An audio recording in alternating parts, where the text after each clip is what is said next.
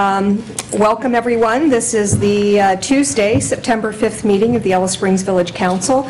Uh, We have already uh, called the meeting to order. We did have an executive session at 6 o'clock. Um, We're entering regular session now. Um, First item on the agenda is announcements, and we are uh, pleased to have Antioch College President Tom Manley here to uh, give us an update on what's happening at Antioch College. It's, it- that's, that's your cue. So I'm the announcement. Thanks very much for having me. Um, So, um, yes, uh, I thought I would start by, um, by telling you something that probably you already know. I've been here a year and a half, and uh, I want to tell you that this is really a pretty extraordinary place. And I mean by that not only Antioch College, but the entire setting that Antioch College has grown up in. Uh, That would be the uh, village of Yellow Springs and the surrounding um, uh, township. And I say that because after 40, almost 40 years in higher education, and you can figure out when I started, but I started very young, um, I have found that the relationship of small colleges to the communities that they, um, that they live in is often uh, a a complicated and sometimes fraught and one-sided relationship. Um, I have not found, uh, the- our relationship is complicated. Um, That's the nature of the universe. Um, But it is not largely fraught. Uh, People disagree. They have different opinions. Read the Yellow Spring News. There was a really interesting letter in the last edition about um, our scrawny chickens and our uh, weed-strewn uh, solar field. But I think if you look, look past um, uh, just criticism that people will have, what I've found and others that come to Antioch and are able to look at the relationship with Yellow Springs is a, um, uh, a a symbiosis that actually um, creates a richer potential for both. Uh, Antioch is the only true, as far as I know, this is an accurate statement. Um, You can tell me later off uh, camera and off uh, mic if uh, if I'm wrong, but it is the only startup college in the country. And I'm raising this because I think as you sort of uh, roll out or see statistics roll out about solar fields and uh, not very many students uh, and uh, financial struggles, you need to put those in the context of what's actually happening in Yellow Springs now and what was happening in Yellow Springs 167 years ago when, uh, when Antioch was uh, sited here, and then when Horace Mann showed up in 1852 or 1853. And that was an experiment in American higher education. And that experiment has continued lo these 160-some years, and it's continuing now in the Antioch campus. So today I had an amazing conversation with one of our faculty members who just came up after our community meeting, community meeting, which has been happening at Antioch for many, many years. It's run by students. Um, it- The agenda is set by students. It's, uh, uh, but it is the governance of the community. That's a gift. Uh, It's a form of small community democracy that uh, I haven't seen at any of the four or five other colleges that I've worked at, and even the colleges that style themselves as extremely progressive, Hampshire, Evergreen, and Pitzer, where I did work for a long time, don't have anything that's, that's that equivalent, where students are really engaged in the governance of the college as if it's a laboratory for them to learn about participatory democracy. So after that meeting, a faculty member came up and told me about a course that he was teaching this quarter, this summer quarter, with four students where they are designing and building a course for, for the next quarter for a, a more expanded class. But the students are participating in the construction of this class, and they're doing it in a way that is part of their education, that will be part of the education of other students. This kind of experimentation uh, doesn't happen as a regular course, and it's happening in Yellow Springs, where you already have a fairly uh, progressive uh, uh, school system. So I want to to contextualize um, all of the, the um, the stats, the, uh, the information that we pick up about how Antioch is doing, uh, in the sense of being true to its experiment, we're doing, we're doing really well. Uh, Every day deals us some um, new challenges. Today, we, um, um, uh, last week, we woke up to posters uh, from um, a a group that uh, has extremist views uh, that made many of us in Yellow Springs, and including many of our students, and especially our students of color uh, or um, uh, LGBTQ uh, identities, uncomfortable um, with, with their safety. So we've been dealing with that. Today, we didn't wake up, but at, uh, earlier this morning, we heard from the Attorney General that the Trump administration is no longer going to support the, um, the Dreamers program, which means that a number of the students who go to Antioch are now um, um, uncertain about their future, about their welcome uh, in, in, in the country. Those are things that colleges everywhere are dealing with. We have to deal with them at Antioch, but we have to deal with them as a, uh, as I said, a, um, a forward-thinking, progressive uh, institution. Our uh, uh, enrollment numbers for this um, uh, fall uh, quarter are going to be small. Um, Right now, we're hoping to get a class of 30 students. Uh, That um, is not on par with where we would like to be, but on the other hand, we are moving from a a school that's completely uh, tuition-free to a school that's actually beginning to charge some tuition and asking students to invest uh, financially in their education. And I will say that uh, of all of the student, um, uh, student applications and accept, uh, those that have been accepted, there are some really exceptional uh, young people, um, people who will uh, not only change our college and our village, but uh, change the world. Our um, support from our alumni, which is another incredible story in America. Uh, 85% of all of the bills that, that, that are paid at, uh, at Antioch are paid by uh, supporters of the college um, and alumni.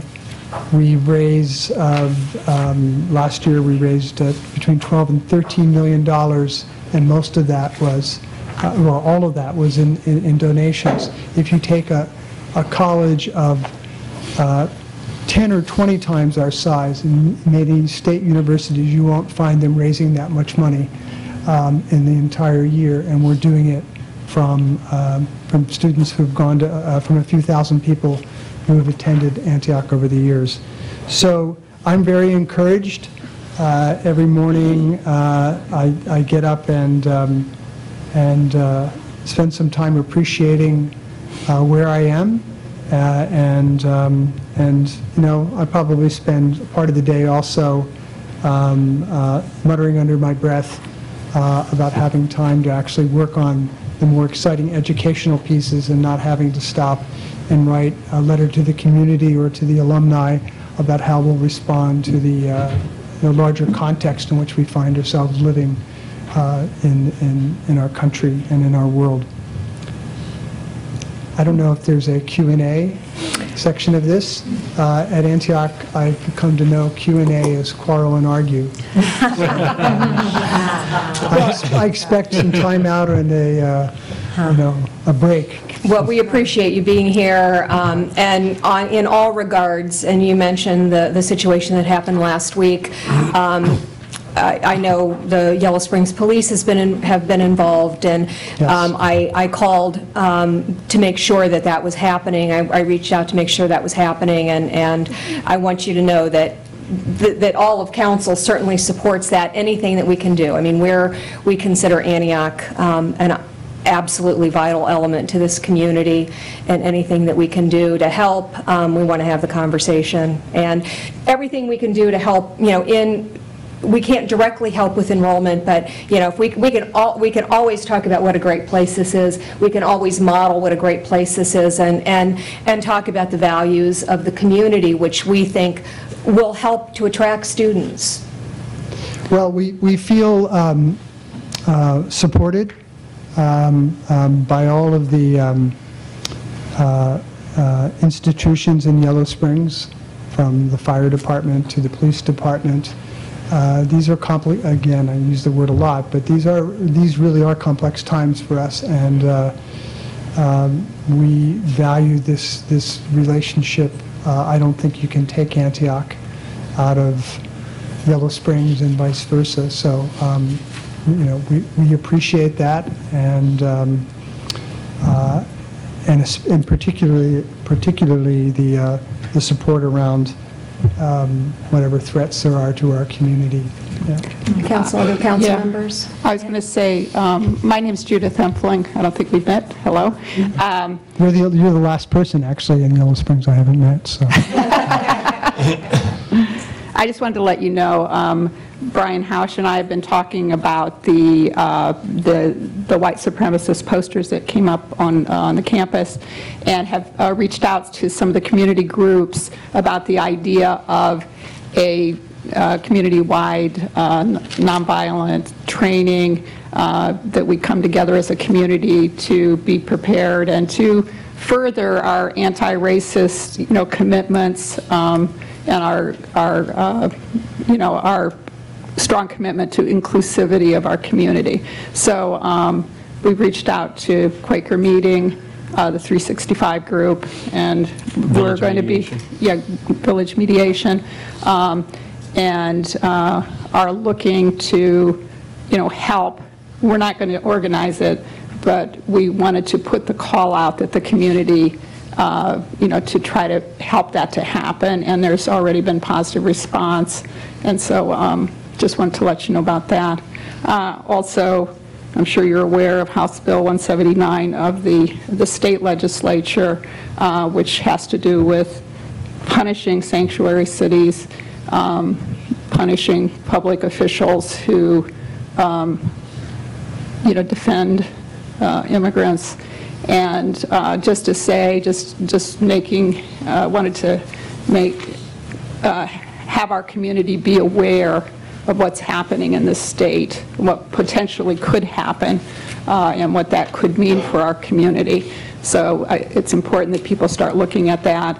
I think if the paper could start, you know, drawing the community's attention to it, uh, it could be a real challenge, given our commitment, uh, our commitments, our values as a community. So, yeah. Yeah, well, well, thank you. And I think the more that we can do together and and show uh, solidarity and presence, uh, the the campus with, with, especially in the summer with uh, our smallest numbers, um, can feel like a, uh, uh, an isolated place. And so um, people who are actively showing their um, uh, support for um, uh, diversity and inclusion and opposition to, I think, views that kind of close off um, those possibilities uh, and, and, and um, signal out particular groups and identities. Um, That, that's really important. You know, we're worried um, about repercussions from the federal government, uh, less so from the state government, about stands that we take. Uh, We are accredited, but we don't have status to uh, uh, admit international students at this point.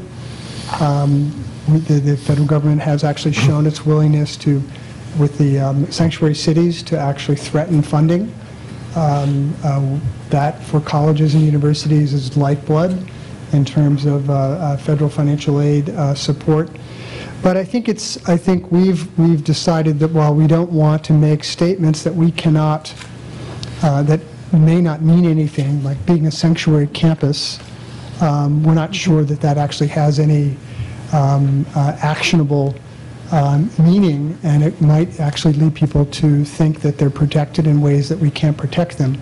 Um, That notwithstanding, we think it's really important for us to, uh, to hold moral ground on these issues, and so if there are repercussions um, in our protecting students and doing things within the law to make sure that they feel safe, then we're, we're going to have to um, accept those, those consequences.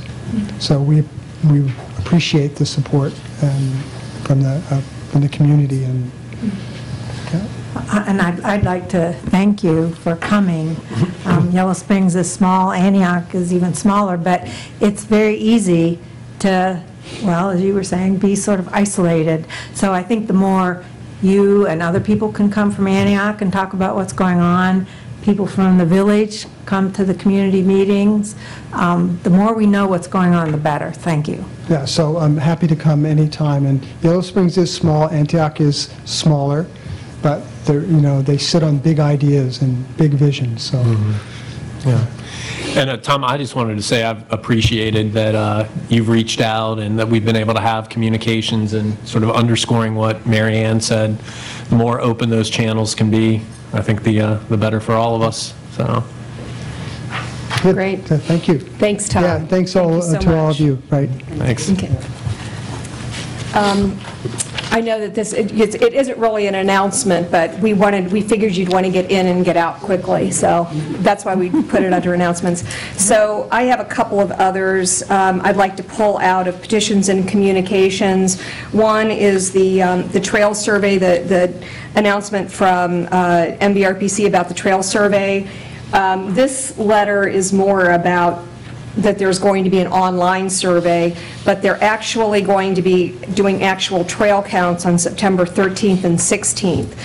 And those will happen at Yellow Springs Station. Um, I'm helping to coordinate it, so from 7 a.m. to 7 p.m. on Wednesday, September 13th, and Saturday, September 16th, I need volunteers. We we are breaking it up into two-hour segments, and so it would be good to have at least two volunteers. Probably on Saturday, we may need a few more. Um, I already have some, but it would be nice to have a few more. So if anybody's interested, uh, just give me a call at the chamber office. Um, And then the elected officials uh, symposium, um, that is October 27th at uh, over at Soin Medical Center. It's being coordinated by um, Dan Kirkpatrick, who is the um, mayor of Fairborn. So it's primarily for elected officials, but I assume that other, other folks are, are included. Um, You know, law enforcement, if, if somebody from, from council wanted to go, that would be good. I can, um, the flyer was in, and I think all of the necessary information is there. I'm assuming I'll get more information. And it's uh, 5:30 to 8:30. 5:30 to 8:30. And I'm assuming we'll get more information, but I would like um, someone from Yellow Springs to be there. Uh, They also mentioned that uh, candidates uh, should consider going as well yeah. to uh, get informed about the, uh, the pro- uh, the crisis. Uh, That's all I had. I just want, I just wanted to uh, add on to what I said about the, um, this nonviolent interfaith, uh, maybe uh, both religious institutions and uh, public institutions.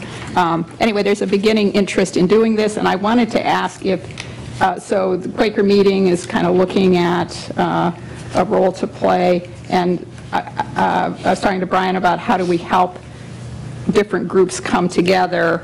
Uh, We're not going to do the training, we're not going to be directly involved, I don't think council is going to do that, but um, to help these, this idea kind of come together, and I wondered if we could ask maybe Judy to be, uh, uh, you know, a person that could be contacted if there's different um, of our, you know, community groups that are interested in participating in in such a, in such a, you know, uh, training, uh, and that we could pass it on to the Quaker meeting, to the, um, to the uh, mediation group and 365, the, the groups that might take the lead on this. Judy? Is that okay? Could you be a Fine with it, as long clearinghouse? I know uh, what I'm doing with those people who call. I think, I think it's kind of keeping track of who's interested Yeah. in the effort, and then And then we'll check in and make sure it gets passed on to the proper. I also, I mean, I I also wonder if, if you- we can just ask John Gudgel to do it as, We, uh, Brian's talked to John, and He's definitely, yeah, I mean, Village Mediation is, is interested. I mean, I, I think what we all recognize is that Yellow Springs is, you know, the ideal target, not only because, uh, you know, these groups are expecting a, a reaction, but also because we get a lot of press. And, um, you know, I think part of this initiative that Judith's, you know, talking about and that we want to think about is, is tactics for not reacting, uh, not getting violent, and ultimately, you know, creating something that's even worse. And, um, you know, what I hope is that we can come up with a community agreement that um, is both effective and is resisting in a way that, that fits our village values. I think that's good. I think that we, I think we actually have weathered some, some, uh, there have been some opportunities for, for people to, to come and protest that actually haven't happened.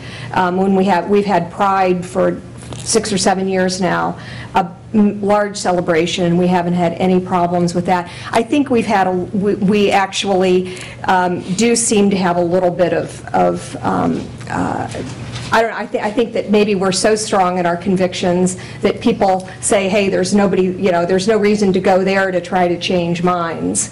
Um, So I'm hoping, and, and I think it's a great idea. Um, I, and I think, I think we need to be prepared, and based upon some of the things I'm seeing in social media, the whole issue of nonviolence and, and how to approach the situation is absolutely critical, because that's not the way everyone is thinking right now. Um, and so I think that we need to do that, so I appreciate that. So at this point, we're asking Judy to just So, yeah, just if track uh, names people and hear the interest. call, they can just, you know, if it's, uh, you know, churches, uh, other organizations of the village who want to participate in something. Yeah, if you can just hold the list, if, so Judy Kintner, the- the clerk of council, uh, could hold a list of, of interested people, then um, we'll, pa- we'll make sure, Brian and I, that it gets to the appropriate folks. Okay. Um, All right, so I'll mention a few other uh, sort of traditional announcements. Um, This Saturday is the 9/11 stair climb at Antioch College, Um, so I'd strongly encourage people to support that uh, important event. Uh, On Sunday, the 10th, there are competing events. WISO is having its community concert down at Riverscape, and um, the Glen, Helen, is having its uh, Who Cooks For You event. Next Friday uh, is the TLT auction, which uh, the village is a sponsor of, and uh, that's always loads of fun, as Krista will tell you.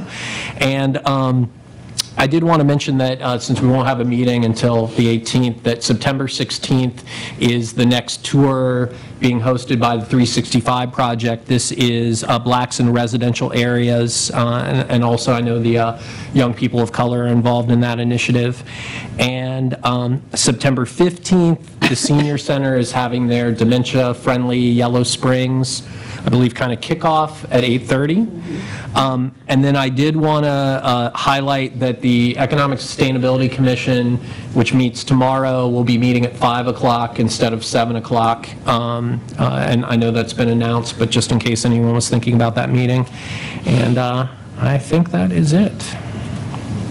What what was the time again for the uh, senior citizens? Uh, It starts at 8:30. Um, Oh, yes, and I did want to mention, and I know we have something in the packet about this, but um, Village Mediation is celebrating 30 years, and that celebration is happening on September 14th at 7 PM. Great, thanks, Brian. Anybody else have anything? Okay. I have one. Oh, go ahead. Um, The infrastructure that Majors Enterprises is putting in um, from East Road um, to the west on Dayton Yellow Springs, on Monday and Tuesday, we will be slow charging the water line. We do not think this is going to cause any brown water. It might, we will be putting out notices. We don't think that is going to cause brown water. What will definitely cause brown water next week is when we flush that hydrant on Thursday. And we will be putting these notices out. Staff is meeting at, actually at 8 o'clock in the morning to work on the notices so that we can get them out to everyone. Um, Again, we don't think there will be brown water on Monday and Tuesday, but there will definitely be brown water on Thursday. And we will put that out um, so that everybody can be prepared for that. Okay, thanks, Patty. Um, I do have one more thing to mention. Um, There is a chamber chat on, uh, on September 21st at 8, o- or at 9 o'clock in the morning here. Um, It's about business insurance, and breakfast will be served, thanks to Reichly Insurance. Um, Next is the consent agenda. It's a big one because we've bundled, usually the consent agenda is just the minutes and financial reports, but we've actually bundled some, um, how many ordinances? Six ordinances that are part of the pocket neighborhood uh, development that are basically just small text amendments and and not of substance. So for, at least just for this first reading, we're bundling them. Um, So I will, um, Actually, can we pull out 2017-18? So it's the second on the list? sure. What are we doing with it? Uh, we want to just, do so we're going to, add. are we going to add that to? Yeah. To the other, okay. To the there's- regular- There's di- discussion to be had. Just a s- minor thing. Okay. Okay, so we'll pull that one out and add it to the legislation. So then that would be um, five text, or five ordinances that are included just for the first reading. Can I get a motion to accept? So moved. Second. All those in favor signify by saying aye. Aye. Okay. I like this, I like this consent agenda. Well, and, and again, a reminder that we're doing this because these are just definitional uh, additions, nothing substantive. And, The next meeting, though, there will be Yes, public comment. yeah, right. They, Yes. there- when we have the second reading, we will have the full reading, and we'll have public comment allowed on every one of them, not, um, not just the ones that are currently in legislation. Uh, Petitions and communications, will you review those, Brian, Do we need please? to review the agenda? Oh, sorry, review of the agenda. Um, Anything we want to add? We just added one of the, one of the uh, ordinances. Can we, I guess, just again briefly add complete streets? Because I do have some new dates if we want to have that community forum. Okay, old business, complete streets, okay.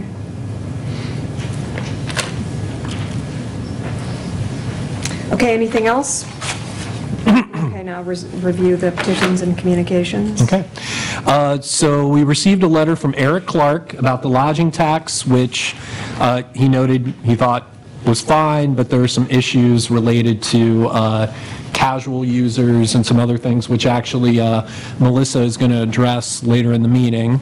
Um, uh, I also included a two-page document from the Department of Business Services, that's one of our state agencies, about uh, TIFs, uh, tax increment financing, mostly because I wanted to make sure everybody understood that, you know, TIF is not a grant program, but what it basically is, is uh, taking uh, future tax revenues, putting it into a fund um, for spending on infrastructure. Um, Ultimately, what this means is uh, tax revenues are shifted away from the schools.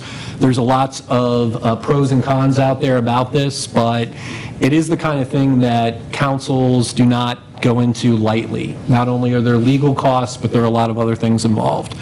Um, the uh, Greene County Public Health uh, sent us two things. One about uh, West Nile, which was mentioned before, and some tips about avoiding mosquitoes. There was one case uh, that's been uh, identified, and- it was a resident of Xenia. Um, Also, uh, oh yeah, I should have mentioned, today is Protect Your Groundwater Day. Uh, That's September 5th, it was just named.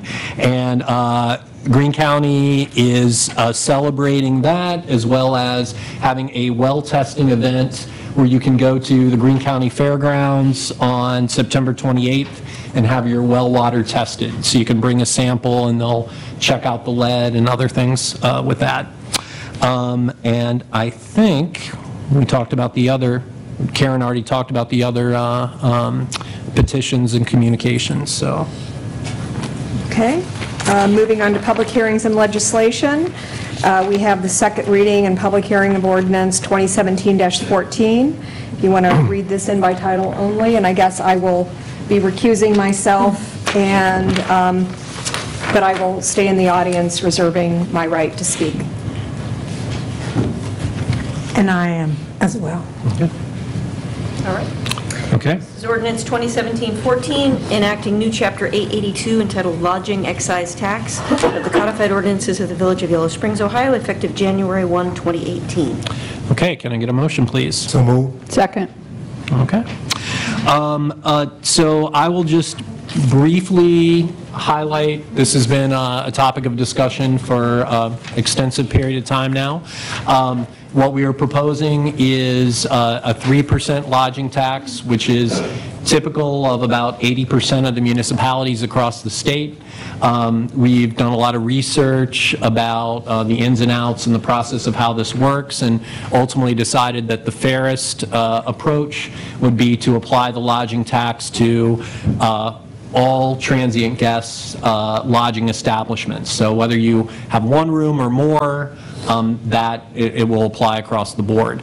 Um, Eric Clark's letter, which uh, I referenced before, did raise some interesting points, and and we've said that the process piece of this is something that we need to work on as we understand a little bit better, Uh, but in terms of the substantive uh, piece of the legislation, uh, that was read um, at our last meeting. So with that, I think, Chris, were you going to say a few words about the process, and then Melissa, or vice versa? Okay, so Melissa? Okay, um, so after kind of reviewing some of the commentary and um, suggestions um, and feedback that were brought um, before council and outside of council on the lodging uh, tax legislation, um, I'm going to make sure that I'm working from, um, I know that my copy is the marked up copy, but I wasn't sure if the pages kind of changed. No, it hasn't, okay. So um, what I would like to do is I would like to recommend two changes to the current, current ordinance in front of everyone. The first change would be on page two of the ordinance under um, section 882.03, which is exemptions. I would like to add a number three, which would read rents received by a lodging establishment that only furnishes lodging to transient guests for five nights or less per year.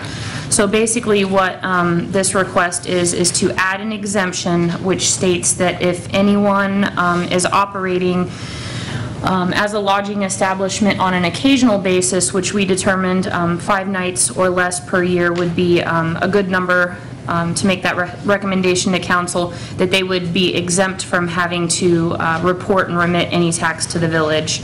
We know that there are a lot of uh, individuals that open up their homes um, to different organizations and such throughout throughout the year, and it's more for uh, hospitality reasons versus the operation of a business. So we would like, I would like to uh, recommend that that change be added onto page two, if council would like to consider I'd consider like that. to make a motion that we make that edit to the legislation. Second? And the uh, second... Should we, should we Oh. vote on that? Should we vote on that, for, should we Yeah, I guess discuss we it? should. Uh, So all those in favor of that amendment signify by saying aye. Aye. Aye. And the second and final change that I would like to, or edit that I would like to propose would be to section 882.05, tax to be separately stated and charged. The first paragraph, just adding the two words "when possible."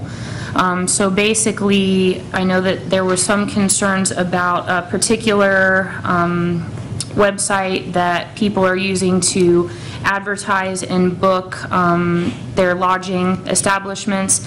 And this paragraph basically says that um, any of the um, receipts or invoices that are given to the customers, that the lodging tax needs to be separately stated, and sometimes that's not possible um, with certain, um, certain websites and such that are used. So we would like to add the, the two words "when possible."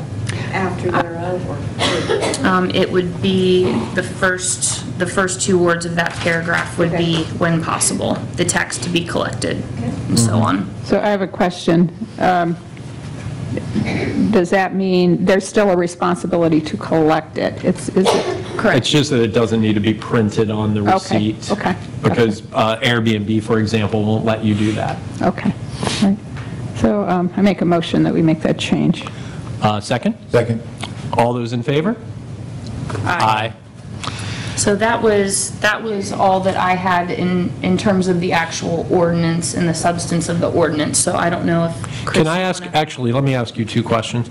Um, Okay, first of all, on reporting and remitting, because I think this was, uh, this is 88, 882.07. Um, I I think that this was misread, is that right? Because this, uh, when I looked at it again, I didn't see anything that said that you have to bring a whole stack of receipts and put them on your desk or Well, anything, right? I think that that was being taken very literally. Um, I think that the actual, um, I think that the actual statement said, um, it made a reference to um, basically outlining all receipts listed, and I think that that was being taken very literally, as every single receipt would need to be turned into the finance director.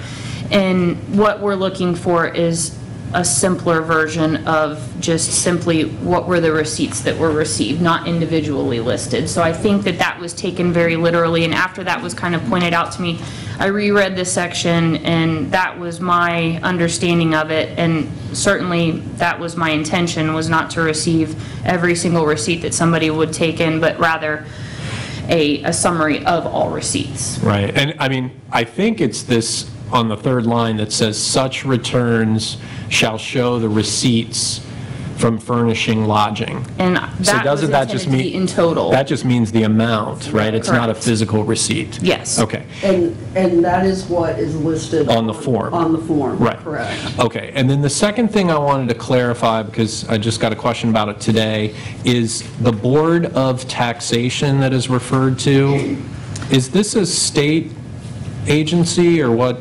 Thank you. Well, the The actual... Board of Tax Review? The, the actual village, that is one of the um, boards and commissions, would it be considered a board and commission, Judy? Yeah. That actually um, exists, like, we had a utility dispute resolution board that kind of died on the vine, Right. so to speak. And then once we had made changes with the landlord responsibility piece, that was reenacted and reestablished. Okay. So we have a Board of Tax Appeals, which hasn't really been used because we use RITA to collect our income taxes, and then the property tax mechanism would be through the county, since they are the ones that collect it, since the village doesn't necessarily collect any taxes on their own. Um, That has been relatively unused, but since this would be a tax that would be, can, would be collected at the village level and not through a third party, then we would like to, to revive that uh, Board of Tax Appeals so that if anybody would ever have any issues, that they would have a place in which to go and to voice their concerns. Okay, but, and so when I read this, so that's good to know, because I didn't know that was on the books, but all this says is that you file your appeal with the finance director and the clerk of council, but this is not saying that that is who comprises the board, right? No, and I think that that is actually listed separately, which would be in perhaps the codified ordinances. I think that that's where the makeup of those boards is actually listed. Okay. I haven't looked at that to see exactly what that makeup is, um, but I know that with the Utility Dispute Resolution Board, that there's an ordinance that, that says what the makeup of it is. Okay, so if we could pull that ordinance in for the next meeting, and, and then we can figure out what we need to do to get that staffed up. But I assume it's similar to the Dispute Resolution Board, which has citizens And staff. and staff. Okay. All right, those were my questions. Council, any other questions before Chris comes up? Nope. Okay, Chris?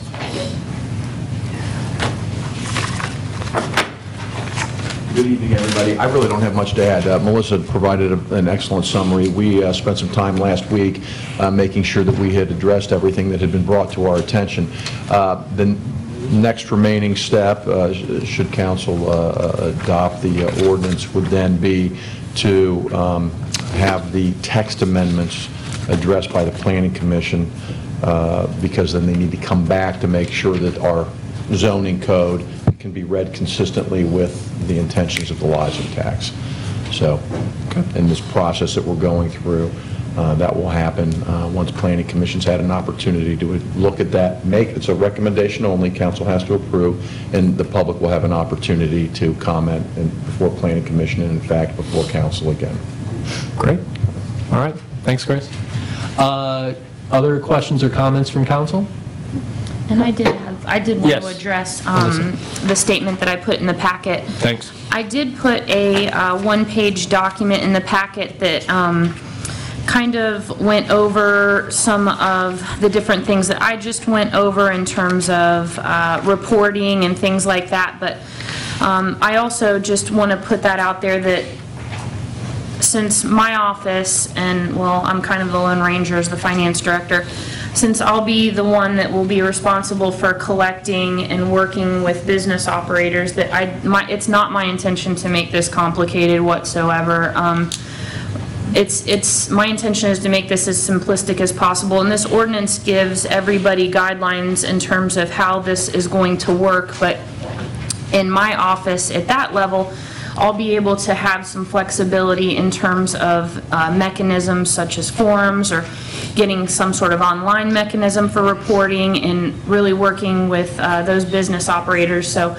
my door is always open and I am more than willing to listen to suggestions and help, help uh, business operators make this as easy as possible in order to report and um, I'm more than willing to work with folks and to hear them out and uh, take into consideration any suggestions that they may have. So I'm hoping that people take me up on that because I know that there's not, um, you know, a ton of people that are operating and some are larger than others and, you know, I'm, I'm here to help as, as much as I can, so. All right.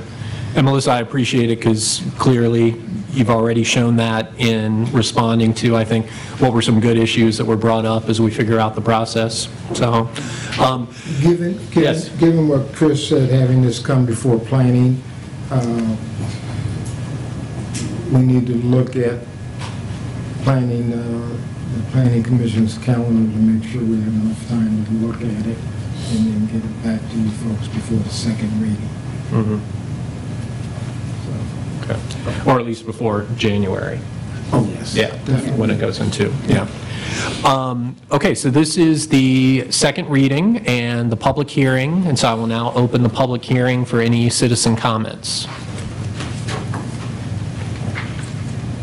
Okay, seeing and hearing, yeah, Megan? Is this the time to ask questions? Yes. Uh, Sorry, I should have said questions and comments, thank you, yes. Okay. Uh, Megan Bachman, Yellow Springs News. Um, So uh, I'm just curious, under the um, section of actions to collect, what kinds of actions the village would pursue and which kinds they would not in order to collect the taxes. Um, The second question I had was about, I'm just going to say my questions and go back if that's okay. The second question was about the exemptions, like in what cases would places be exempt? Are you talking about, for example, a a nonprofit like the Glen would be uh, exempt from these and other taxes? And then finally, just with the Planning Commission's involvement, is there any intention in that regard to look at other um, ways of regulating these rather than just taxes, but looking at fire, fire code or, you know, making sure there's working fire alarms, any other kinds of regulatory? Is there, is there a desire to go beyond the taxing to other levels of regulation?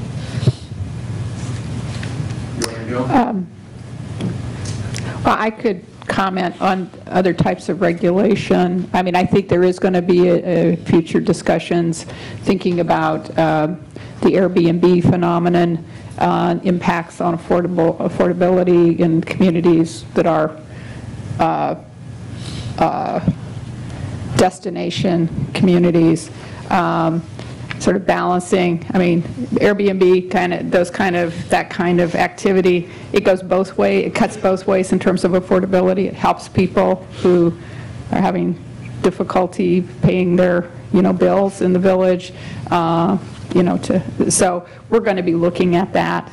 Um, I know there was a letter a couple months ago by Ellis Jacobs in the Yellow Springs News saying, we need to look at this as a community. It's not a problem now, but it could be in the future, and we need to be thinking ahead about that, so. And and I'll just add to that, most of what we're doing is just uh, making sure that the zoning code has the, the same definitions. So these are, uh, so one issue is we now have short-term rental and changing that to transient guest lodging.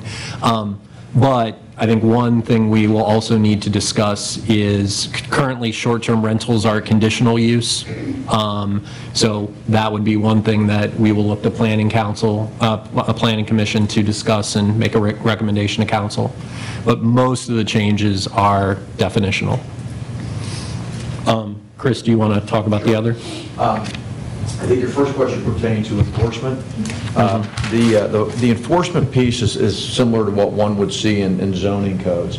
Um, There's a process by which I would call informal dispute resolution, which is the operation of common sense. That means that the finance director typically has discovered that there's some anomaly that needs to be addressed, much like a utility bill.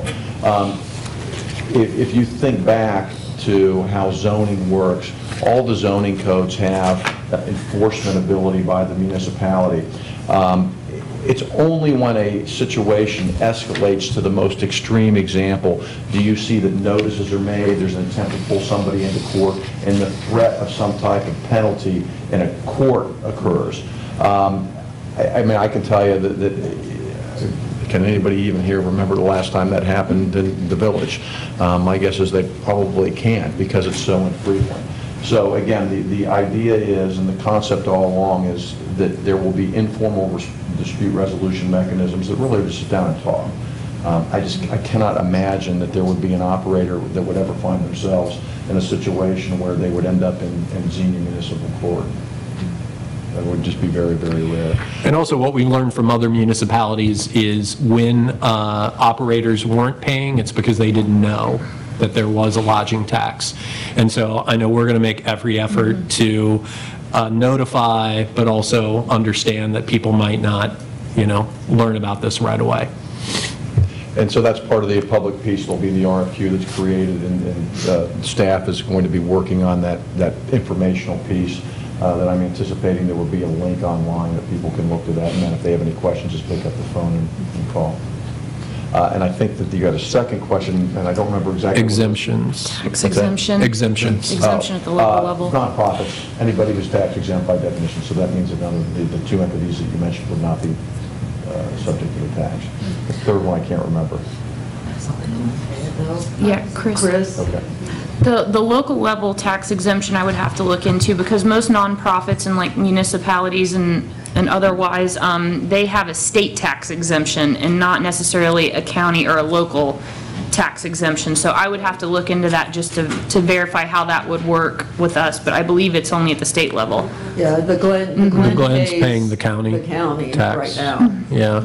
so. Um, Yeah, I I think, I think what Chris was getting at is, is there's a distinction between if you are a public official, um, you can technically establish that and not pay uh, the lodging tax. So that's kind of like on the books, that there are certain um, people that are exempt. Um, But I don't know of any uh, examples where, I mean, if you're operating as uh, a transient guest lodging facility, that doesn't automatically exempt you. Are you saying if us elected officials go to Columbus, we don't have to pay lodging tax? If we bring proof. You, well. Yeah, and we've actually You got- have to pay some, you have to pay some. I think you can only be exempt from the local. It's just the local, I think. Yeah. But we also, that's contemplated in our ordinance. Okay. That um, if there are reasons why people are exempt. Right. It is in um, there. Then they just have to, but they have to show the, you know, the person. So if they're coming to stay at a place, they have to prove that they're, your certificate with you. yes, But I will look into that to understand that further. One of the little benefits, huh? Yeah, see? Okay, uh, any other questions or comments from citizens? All right, seeing and hearing none, I'll bring it back to council table, and uh, Judy, could you do the roll call?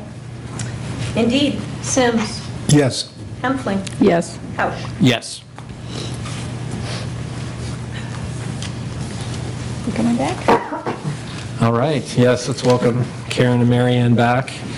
Did you notice I actually uh, went through the proper procedure? and, uh, Okay, uh, next, we've got ordinance 2017-15. Um, Let's just do everything by title only, Judy. Okay, this is 2017 supplemental appropriations and declaring an emergency for the Village of Yellow Springs, Ohio. Can I get a motion, please? So move.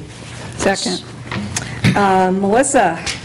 Okay, so this is probably um, one of the strangest supplemental appropriations I've ever done because there's a lot of different lines, but the net um, overall change in the budget was actually a reduction to the tune of $9,795. Um, So everybody has in front of them um, the actual ordinance 27 or 2017-15 um, in the format in which I uh, turn over to the county. However, the uh, second page, the supplemental appropriation worksheet is a much easier to read and um, understand document, which ties into that ordinance format document. So um, Basically, what I do, it, uh, this is a very regular thing that I do um, throughout the year, usually once mid-year, unless something uh, comes up which requires immediate attention, but usually once mid-year, and then again, at the end of the year, I go through everything and I take a look um, at anything that might have been overstated, or if there were expenditures that were um, not necessarily something that we were expecting. So I've got this separated out into the general fund, so I'm just going to briefly touch on these things. Um, We had some repairs, we had some legal fees outside of retainer, um, we had some hardware and software changes, um, we'd gotten some new servers and such, and some of those required, uh, some of the things that we'd done with hardware and software uh, costed a little bit more than what we were bracing for. And then there was also a uh, transfer out to the CDBG grant fund, which um, that was one of the uh, grants that we got through Greene County that was covering ramps and domes, and we thought that we were going to be fronting the money, and we were not. So that's actually a reduction. So um, Excuse me, Melissa, Yeah. are you on um, administrate, the 70,000? um, I'm looking at the supplemental appropriation worksheet under Right. the general fund. Right? The reductions are in parentheses, so that was the one that I was just referencing, the CDBG grant fund. Oh, okay, um, Yeah, the actual ordinance format is, um, it's a, it's a little, it's a little less easy to, to Okay. read, so I do this worksheet which ties into it, which is, it gives a little bit more detail. It gives some descriptions in which lines are affected and such in the budget. So actually, the general fund uh, is seeing an increase in expenditures of 120,400. And then in the special revenue section, um, there was some engineering, some cost from the barn out at Sutton Farm, some maintenance and security type things. Um, The largest one, though, is, uh, the largest line is actually a reduction of $109,040, which uh, was to the Green Space Fund. Beginning of the year, um, actually, it was done with the first supplemental appropriation. We had, uh, we had appropriated $200,000 uh, for the uh, Arnovitz property, um, bracing for anything that the village might need to commit, um, and that was a total of $200,000, and we actually didn't come uh, very close to spending that. So this is actually a reduction to cover that cost, and then there was an extra $21,000, which we're preparing for, which should be coming to council, actually tonight? No. No. The invasives, um, it- it'll be coming to council as well, so in the special revenue funds, there was a reduction of $80,295 overall. In the capital project funds, we had uh, the, the Glass Farm solar field work, which was not in the original budget, but we knew um, was going to be happening. We just weren't sure when it was going to be happening. So there's those uh, costs in the electric capital improvement fund, and again, that CDBG grant fund, I had uh, braced for that expenditure, and that's a decrease of $26,000 since the county covers that. Uh, Can we be taking that from both, from two different? Yeah, because the general fund was transferring it out to a fund that I had created where it would actually be expense So yes, it's, it's overstated, but that's the way that I have to do it. Okay. So it is confusing. And then lastly, we have uh, our enterprise funds. Um, We had some more uh, hardware, software support, legal fees above retainer, and then the largest one, which was also a reduction, was in water treatment. The reduction was 100,000 out of professional services. Um, And if everybody remembers with this new water plant, we were spending um, quite a bit in engineering, which was coming out of the professional services line. So when I budgeted for the 2017 budget, I was looking at those professional services costs that we'd had historically, and I overstated that because we were finished with those engineering costs, thankfully. Um, So that was a reduction overall in enterprise funds of 73,900, which brings us to our bottom line, which is a reduction overall of 9795 in total. Back up on water and sewer, um, the hardware and software, I, I hope that those expenditures will be transferable or possibly for the new plant.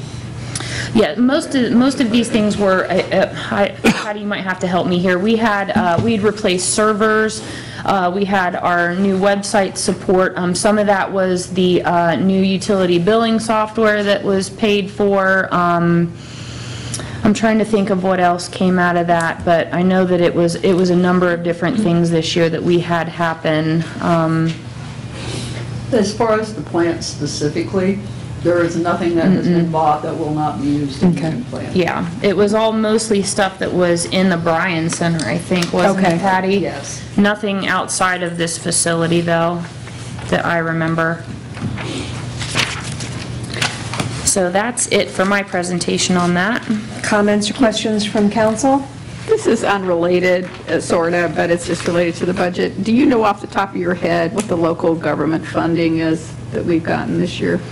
Um, I think that it was budgeted for 92,000 in receipts this year, if I remember. Have we gotten it? That sounds good. Um, actually, I don't have the revenue report in here.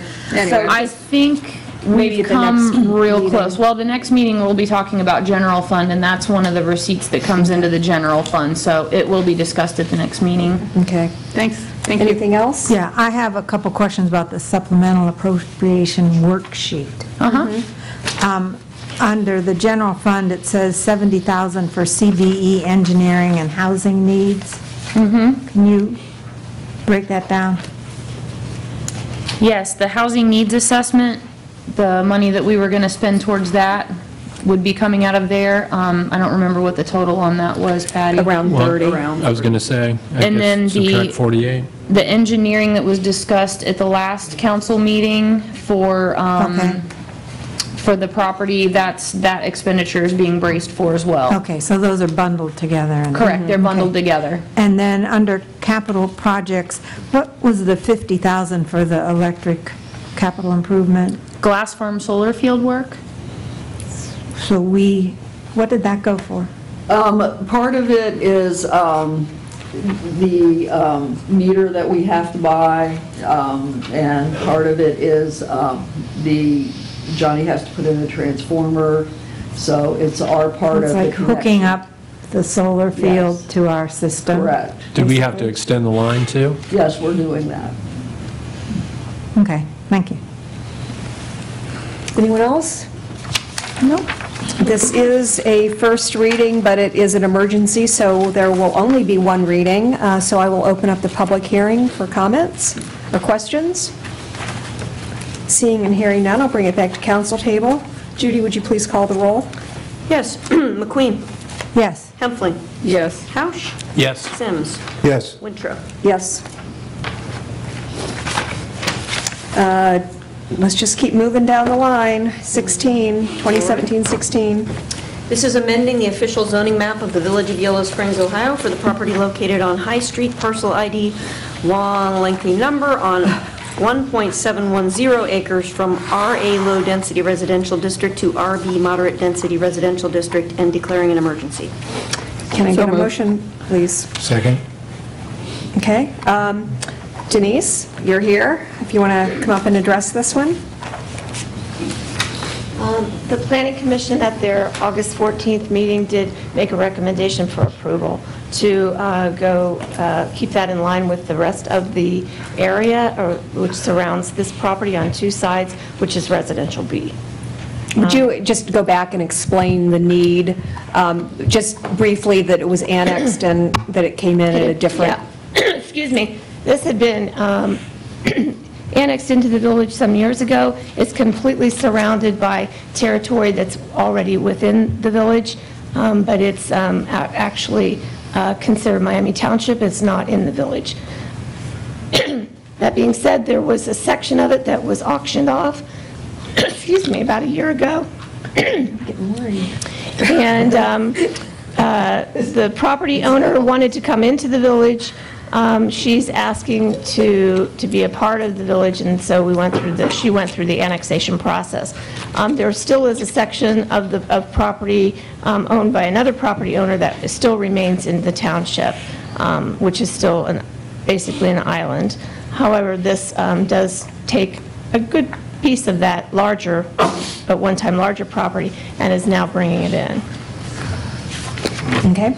And it, and it comes in as RA It comes, yeah, on- yeah, the way our zoning code is right now, everything comes in as RA. I don't know if that was just to, rather than looking at what um, is logically around it, it just, I think they go with the lowest density is, is how it was done. I mean, that's something we can discuss at a later point. Uh, plan- I think it would be good, I think we talked at the last meeting about Planning Commission looking at that.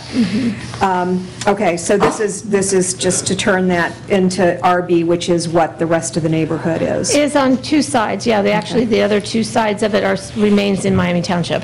Right, okay. Any comments or questions from council? This is a first reading, but this one is also an emergency, and uh, I will open the floor for uh, public hearing from comments or questions from citizens. Seeing and hearing none, I'll bring it back to council table. Judy, would you please call the roll? Yes, Sims. Yes. Housh. Yes? MacQueen. Yes. Hempfling. Yes. Wintrow. Yes. Okay, 17. This is repealing Section 1262.08 specific requirements of the codified ordinances of the Village of Yellow Springs, Ohio, and enacting new Section 1262.08 specific requirements. Uh, Can I get a motion, please? So move. Second. Okay, um, you're still there? Yeah, okay. This being my uh, third trip to the podium here, I think, rather than going back through a general presentation again, I think I just ask if they have any questions, um, comments, or concerns about this 126208. This is pretty much the, the main section. Um, You did consent agenda on the other uh, sections for now, which just are definitions and such. Um, But this really is at the heart of what the code is. Um, Kind of leave it, And this essentially creates the pocket neighborhood. yes, this is the specific requirements. What is the distinction between a two-family dwelling or single-family attached? A two-family dwelling is like a duplex. Yeah. It's Simply that it's one structure with um, uh, two self-contained units within it. Um, A uh, single-family attached, it can just be three, four, five, all in a row, but they are, but they are um, each self-contained units. So that's a gene, the single-family attached would be a generic term, and the For- duplex would be. Yes. And am I right that in the pocket neighborhood, people cannot have sheds, for example? They can have um, common accessory structures, yes, that they'll share. So if, the- if someone wanted a shed, as many people do, can they have it attached to their house? If they make it It's possible. It is possible. Plan Commission's going to be a little bit flexible with that um, if it's attached to the house. It wouldn't be detached. But I I um, would like to point out that part of the purpose of a cottage community is shared services, shared materials, shared spaces, so that we don't have a community of 10 homes with 10 lawnmowers and 10 wheelbarrows and, and things like that. So I would think that, that the units could be designed in a way that there would be a closet or some sort of storage for, for some general items, but. That could be um, part of the we wouldn't- footprint, yeah. Certainly not a garage, certainly not uh, the kind of shed you'd expect in, in a, in a house.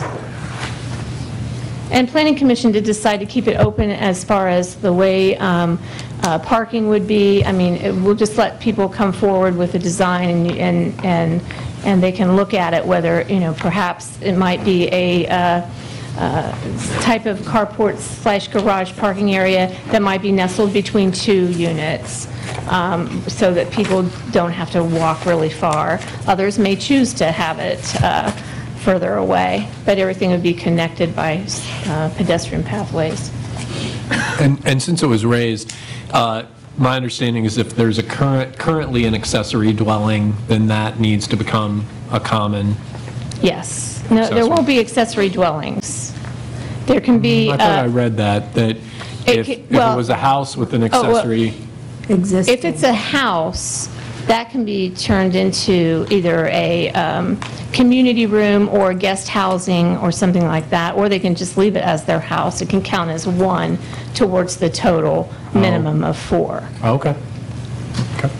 But accessory dwelling units would have to be, would would have to then be owned by the common. It wouldn't be, Right. Okay, so they would, they would change. Mm-hmm. And i- is this a time to talk about following up on the homeowners association? Because I know Karen raised some questions, and you, you wrote a nice report about that. I don't know if, What, if I think it didn't might- answer the question, what, what I think it might questions you be good to highlight, I didn't know if you were going to talk about your summary. Well, I can. I mean, the, uh, regarding the administration of a homeowners association, I did mention that we have several residential PUDs in the Community 5 in particular, some of which have gone and become neighborhood associations, others that have not yet done that. Um, But regardless of that, they all um, did have to um, present what we call um, CC&Rs, which are covenants and conditions and res- and uh, restrictions. Um, That is what the zoning office uses to determine anything that comes forward. Somebody wants to build an accessory structure or a garage, I have to then pull those specific to that PUD and look to see if whether or not that would be allowed and how, and what are the conditions. It isn't going to go by the regular zoning code, so maybe that they have to be, for example, they might have to be 15 feet from another structure, Um, that kind of thing. So, um, and and if it's not in the CC&R, then permission won't be granted. If it's kind of a gray area, then if they, if the person can get, um, what I've been allowing is if a person can get a letter from the homeowners association, they'd have to have a meeting. This happened recently where they actually convened a meeting, and then the person presented what they wanted to do, and then they had to write a letter to me to say that they would exempt that. All right, thank you. I I have another question from- about the paper, the summary that you wrote. So I'm still sort of confused about how many units can be in each residential area for the pocket neighborhood? Because originally, I thought at the last meeting, it was the same zoning. But uh, in four, number four, it says, for example, residence A can have up to six units per acre, and then for the uh, pocket neighborhood, it can have 12 units uh, per acre. So, Is that a result of rounding up? So Right, if, like, no. if it's So, over for an acre- example, the zoning code says um, you can have up to six units in residential A per acre. If it's, if it's a half an acre, it- we, we- it's still six. If it's three quarters of an acre, it's still six. If it becomes 1.25 acres, you can have up to six, as long as you can meet all the setbacks.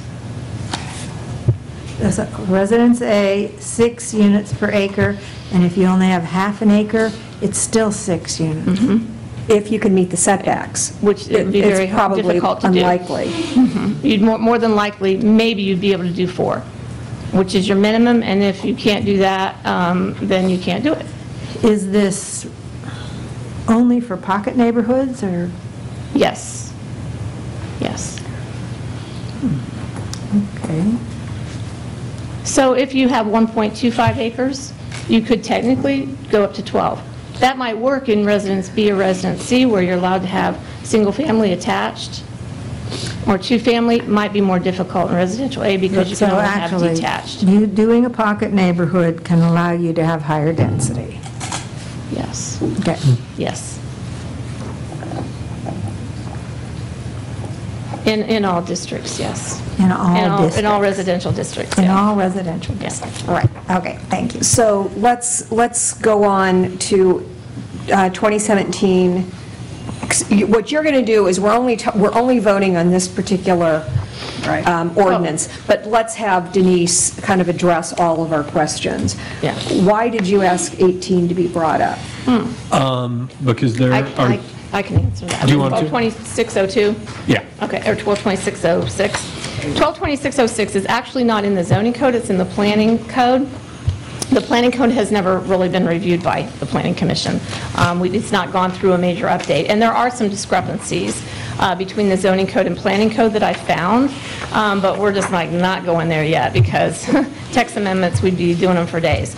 So for right now, um, in this pocket neighborhood development, there is a section in there for landscaping that has, you know, if you're a PUD, um, uh, different types of things, these are the requirements for landscaping. So pocket neighborhood development was just added to that.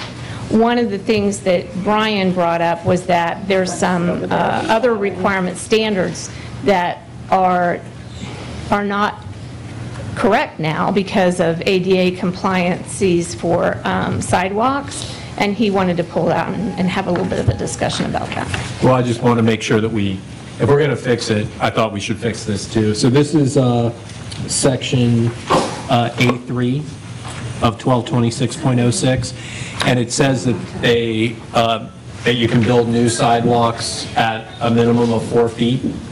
Um, But if you do that, you then have to have the passing zones every 200 feet, uh, which is something we've learned about in the past. Um, Otherwise, you have to have it at a minimum of five feet.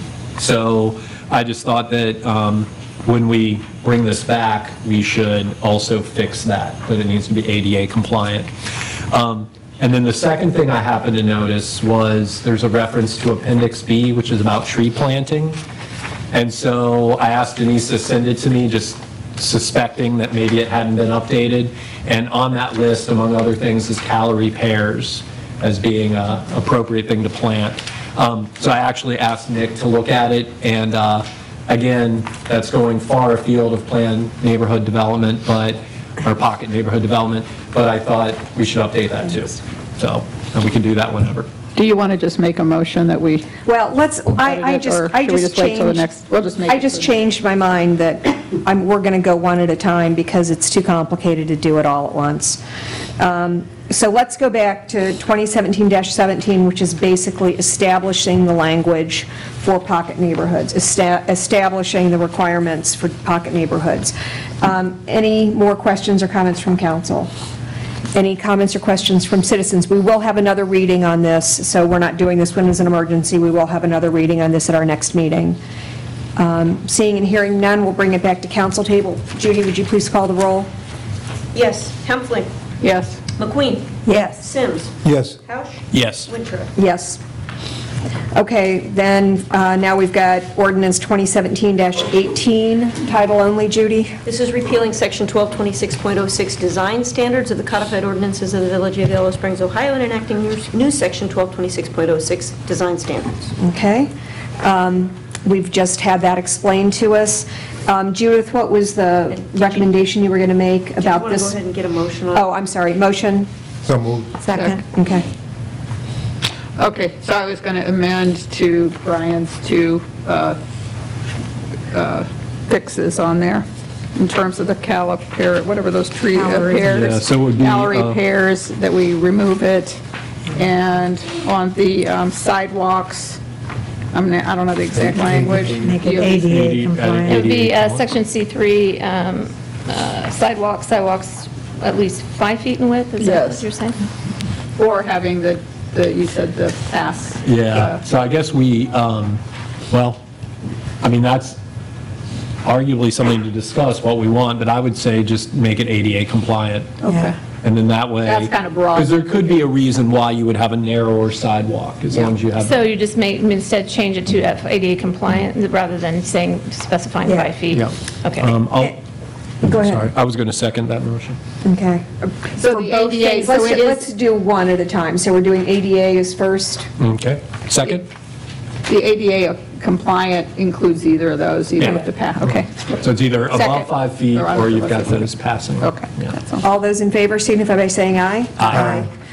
Um, Let's go back to the tree thing. I- Is there a way for us to use language that references back to the ordinance that we just passed, with all of those tree species and things Yeah, on we it, should do that. instead of trying to Yeah.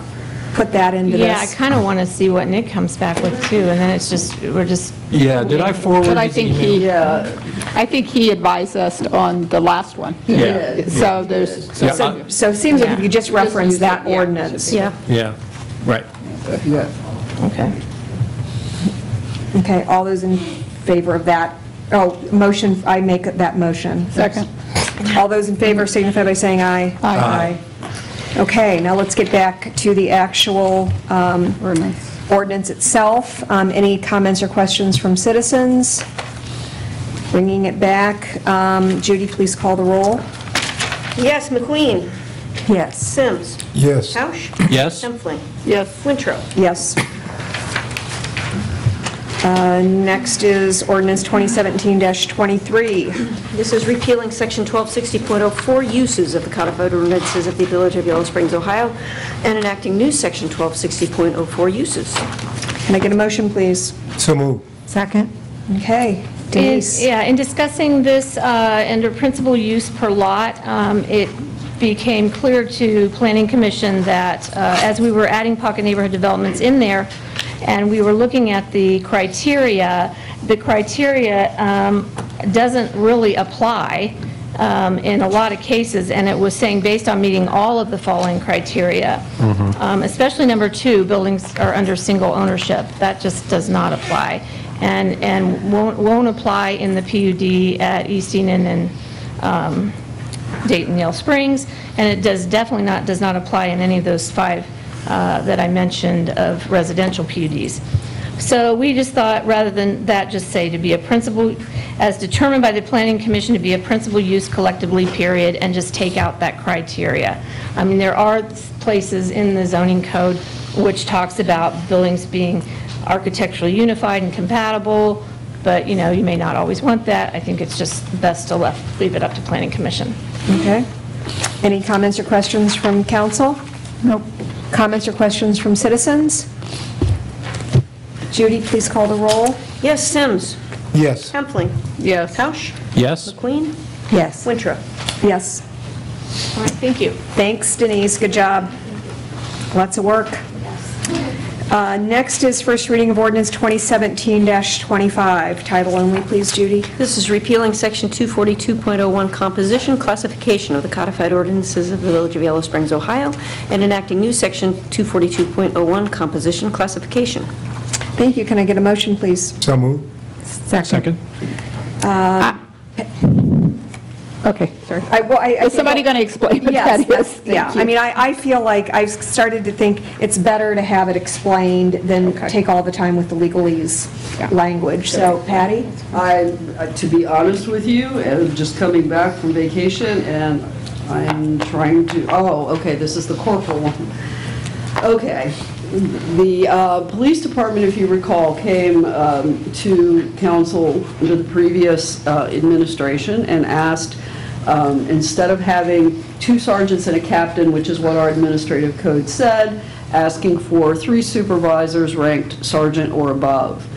Um, Council passed that. However, Chief Carlson um, has been talking to um, myself, um, the sergeants, Melissa, and we believe that it is better to take that additional sergeant position and make two corporals positions, and here's why.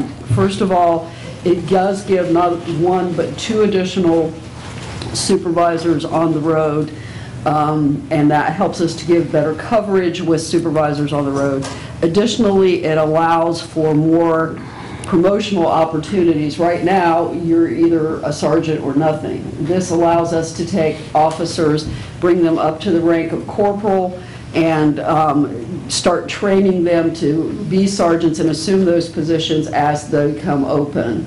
Um, And so we feel that this is a better opportunity for the department, for the officers, as well as a benefit to the citizens um, because of giving the better coverage of supervisors on the road. And the financial piece? The financial piece is that the uh, increase that would have given us one sergeant will be taken and divided into the two corporals positions, and therefore there is no net change in the financial cost of this. Okay. Thank you. Josh, did you have, Sergeant Knapp, did you have anything else that you thought was relevant you want to add? No, there's no questions from the council. Questions? I don't have a question, I have a comment. Okay. Uh, I, uh, you know, we just passed, I I support this, uh, this uh, proposal by the police department and Chief Carlson. Um, I wanted to suggest that um, you know, we just passed this village uh, guidelines for our police department, which it's part of its role. The, the use of it was to be regarding hiring, reviewing, uh, position, you know, our, our staff. And part of that has to reference a job description. And I'm assuming there's going to be a job description for the corporal that's going to be different than for a sergeant or, you know, a, a uh, officer. Um, So part of, I know when we were, you know, looking at hiring a new chief, uh, Patty, I think Janet Mueller, and Pat DeWeese, um, you know, rewrote the job description for, uh, for a new chief. And uh, some of the uh, language in that rewriting included these ideas that, uh, uh, that encompass the values of the community that are represented in the guidelines. So I was uh, wanting to suggest that that same little committee, Patty, Janet Mueller, and Pat, look at, I mean, the, the police department's going to have the responsibilities of a corporal, which are going to, you know, have more response, you know, be between the sergeant's responsibility and the police officers, what do you call them, field officers? Field training officers. Field training officers. patrol officers. The patrol officers, yeah. So they're going to have added responsibilities. Um, And then there's these other, uh, you know, values of guidelines and so on that I'm assuming would be in the job description. I wondered if that committee with the chief, maybe the sergeants, would, you know, work on this. uh, Well, there actually is one, and I apologize that it did Oh, not make it into the packet. Oh, packet. okay. Um, It's something that the chief uh, and the rest of the staff has been working on, and I know that Sergeant Knapp has put a lot of work into it, so we'll let him talk about it. I just wanted to tell you that. She did it, so it's already kind of in the works. Uh, I'm Okay. not going to speak for Chief Carlson or Patty, but, you know, we have some things down on paper that we think will fit nicely into uh, your desires to have that done. And once that's all ready to go, it'll be part of the next reading. We, I have written a note to put it in the packets for the next reading, yes. Okay. It it doesn't include those sorts of value statements that we would Um, It expect? does not, um, only because most of the job descriptions don't, if they're not a s- uh, a uh, salaried employee, like myself, Melissa, or Chief Carlson, or Judy. Um, We can certainly make them part of the general hiring guidelines for all officers in the department, which is what I would recommend more than putting them into The specific Each one? job. That sounds great, but th- that would be separate from the guidelines? Wouldn't it be a Correct. little separate? Yeah. Correct. And there are general, hi- go ahead. What we've already done is, is that our job description, our job details and duties has to be pretty specific of what is required of, of the Yeah. officers and any supervisors down there. Um, But what we have done is we've started to amend some of our general orders and policies that will reflect the, the community policing guidelines. So they're two separate entities, if you will, or two separate policies that we have. The job description will be more structured, this is what we expect of you, and then the general orders will reflect more of the community policing standards and guidelines. And they're going to be direct- directly referenced to the Correct. positions? We're, we're kind of, two- we're looking at two different things here. So in this position, we're, um, you'll have your job duties for this alone. Yeah. And then in our, our general orders, our operating procedures downstairs, that is Okay. being altered and looked into changes as well. So it's two different things. Okay. I guess I would uh, like to think about including Janet and Pat maybe in this process, if, uh, since we're, you know, Well, I actually got an email from Janet at the same time I got an email from you um, asking for a meeting, and I just actually spoke to her right Oh, before the okay. meeting, and so we're trying to set that up. okay. With the I- 360. What I was asking for was a little different. Yeah, But, okay. but, um... I mean, I can wasn't certainly- talking I can to but- certainly ask for her input when we meet. Okay. Thank you. Thanks, Sergeant Knapp. Yeah, thanks a lot for your And work uh, on Sergeant that. Knapp, can we uh, uh, change it to village policing, just for consistency with the the guidelines document, instead of community policing? Yes, Okay, cool, because I saw that on the report too, and I like that. Sure. That, yeah, cool. Thanks. Okay, thank you. thanks. Uh, Any other comments or questions from council? Comments or questions from citizens? Seeing and hearing none, we'll bring it back to the table. Judy, please call the roll. Yes, MacQueen. Yes. Sims. Yes. Housh. Yes. Hempfling. Yes. Wintrow. Yes. Resolution 2017-41. Okay, this is this beautiful thing that comes over from the county um, auditor that is a little bit hard to read. I'll read the title only. If it Yes. needs further explanation, Melissa will be the woman. Yes. This is a resolution accepting the amounts and rates as determined by the Budget Commission and authorizing the necessary tax levies and certifying them to the county auditor. Thank you. Can I get a motion, please? So moved. Second? Okay, Melissa. Okay, this is going to be the quickest piece of legislation tonight, I promise you that. Basically, what this is, is if everyone recalls, I went through a formal tax budget at the July 3rd meeting. The county sent us over some property tax figures, which I incorporated into that tax budget, shot it over to the county, and then they basically said, looks good, looks like we'll give you all the money we thought that we would when we sent those numbers over to you back in July. So this basically just sets that in stone, should council accept these rates. Um, So what that breaks down to is $258,000 in our uh, property taxes, and then 778,000 um, property tax dollars as a result of our levy. So the total that we would be receiving in property tax dollars from Greene County in the year 2018 will be $1,006,000. Thank you. Uh, Comments or questions from council? Comments or questions from citizens? All those in favor signify by saying aye. Aye. Uh, Resolution 2017-42. And this is equally as incomprehensible. This is uh, a a resolution enacted by the Village of Yellow Springs of Greene County, Ohio, and it follows uh, through a project description, which I will let Patty handle, because it's it's literally piece by piece of the project. Actually, Melissa's going to handle it. It's her project. Okay, so can I get a motion, please? So moved. Second? Okay, Melissa, please. Okay, so this is kind of confusing because if everybody remembers, uh, there was an MVRPC grant that was um, applied for, for the ADA compliant sidewalk ramps to finish them out in the village. Since this has been kind of an ongoing project to get all of those finished out that would um, do a continuous loop through uh, Xenia Avenue, Dayton, uh, Dayton Street, and then East Enon, and then West South College. So we've had a number of different ramps replaced. We had one last big section in which to do along West South College and Dayton Street. And that MVRPC grant is actually an ODOT-let project, or an ODOT project. So this is just um, pro forma legislation that happens at the very beginning of the project. We've already had the uh, kickoff meeting. Um, So what this is going to do is, this is a $139,000 project. Uh, The the village would be uh, seeing 101,000 in federal funds. The match by the village would be 38,000.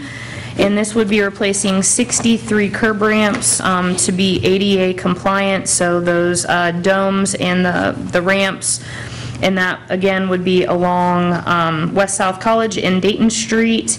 And the construction of this actually got bumped up because they were saying this could be four years out, and uh, the construction actually got bumped up. It'll be the summer of 2018. So this is the legislation that uh, basically is allowing uh, ODOT to move forward with the project. So they will be paying for all of their portion, none of it would be a pass-through from the village. Uh, They will let the project and everything, and then the village will just have to pay their portion, which is going to be uh, an engineering cost, which is the stage that we're at right now. Okay. Comments or questions from council? Well, I was just going to say, I mean, this highlights why it's complicated to uh, get federal funds, so, which is uh, what MVRPC has control over, so. And it also highlights why it can be extremely expensive. Right, yeah. All of this NEPA's paperwork in to there get and everything. Through all of these regulations, so.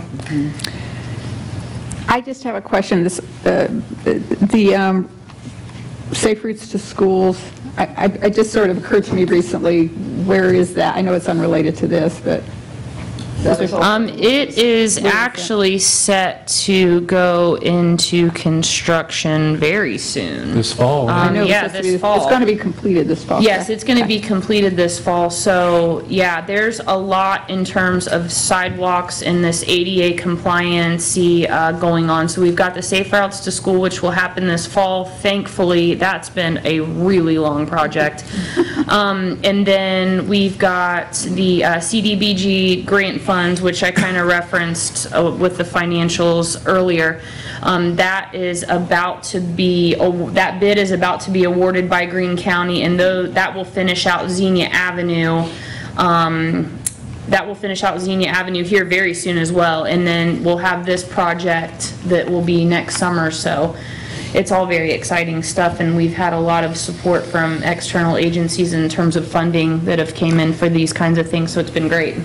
I was going to say, staff seems like they've done a great job at getting us these monies. I I would like to very much compliment Melissa and Denise. They have worked exceptionally hard on these ramp and dome grants especially, and um, this is amazing what they've been able to secure the funding, and and that's why uh, Melissa has- has taken the lead on these. These are her projects from start to finish, and she's doing a great job, and Mel- Denise has been right there beside her, writing the the grants and everything. So it's it's these two ladies right here.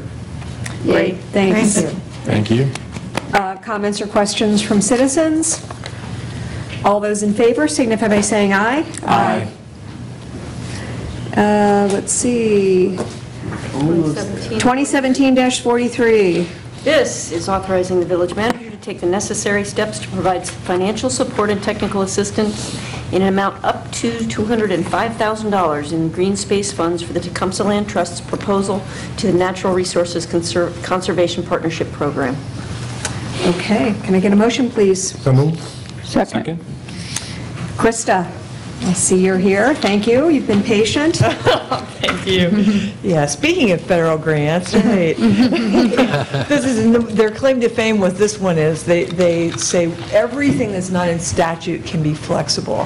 So that's quite an interesting little challenge, you know, to to try to meet. Um, We uh, have this proposal due, we were asked to do a full proposal. I've talked to to you guys a few times along the way about, um, after our, our really good outcome of our Jacoby uh, Creek auction uh, last spring, really trying to move on to preserve the rest of the village priorities, which would be uh, those that are shown in red on that map, and then also the, the uh, one and five-year time of travel around the well field.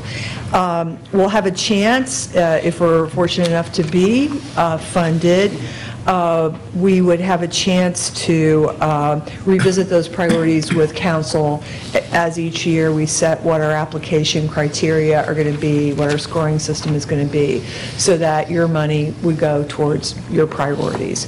Um, Your money would leverage about $3.4 million from other sources. So it's, it's really a great bang for the buck. Um, And one of the things that we're real excited about with this project is that we would work with the Soil and Water Conservation District, um, also to set up the application process for installing better conservation practices. So we would hope that we would have some really nice demonstration projects, kind of year by year, that uh, would give other local landowners and farmers a chance to kind of just see, you know, what's, what's this grass waterway thing about? What are, what are these filter strip plantings? Um, You know, what does this look like? How, how did it go? You know, um, and, and that's entirely new for us. Um, We just went through strategic planning in the last year, and that was definitely feedback that we got from people. Great to preserve land, how about let's try to up our conservation game a little bit too? Any questions? I, I'm sorry. I was just going to say, I wanted to commend Tecumseh Land Trust. I want to point out, this $205,000 is over a five-year period. So per year, it's approximately, well, my math isn't very good, but let's see, 40,000. Um, We have been putting in 25,000 yearly in the past years, I think some years maybe 50. Um, it's- Without Tecumseh Land Trust, this, you know, 3 million and some dollars that we can leverage with just upping a little bit our yearly commitment is huge. And um, And so just really appreciate the work of TLT on this.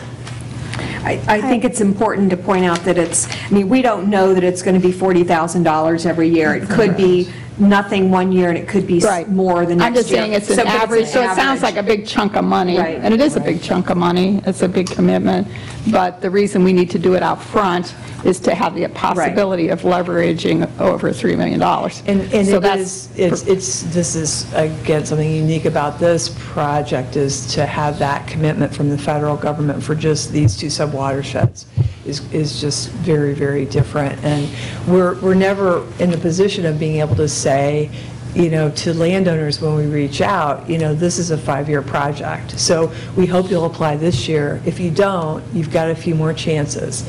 But the money is going to run out at a certain point, and we'll see if that ups our success. So, so we can look at this as a five-year project. Um, It's spread out as 40,000 a year for five years, as has been said, but it- that money could come, or would, might be needed at any time during that five years, but the village is committing itself to fi- a five-year plan. And being a partner, and, and, and I've got to say that what the, the village's um, steadfast priorities for preservation are a very appealing part of this project. And do you expect, since it sounds like this is a pretty groundbreaking idea, that there might be other monies as, as potentially other conservation organizations or government entities look and see its successes happening, that other money might become available? Uh, There definitely is. For one thing, we're working with Wright State on this, and they're now a land-grant college, and so they are eligible for some research monies that, there's only 130 universities in the United States uh, that can, can even apply for.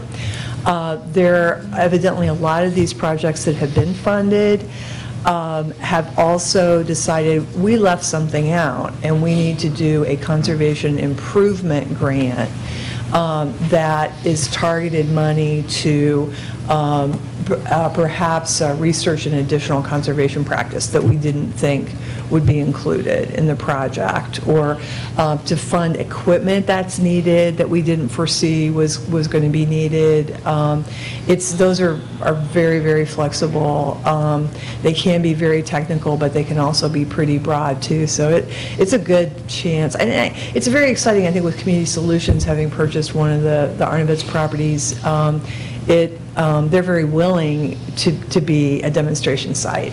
And uh, that's, that's just fantastic. I mean, you don't expect every landowner that preserves their land or improves their conservation practices to, to welcome company all the time. But um, that's, that's going to be a really nice opportunity to have that Thanks, Krista.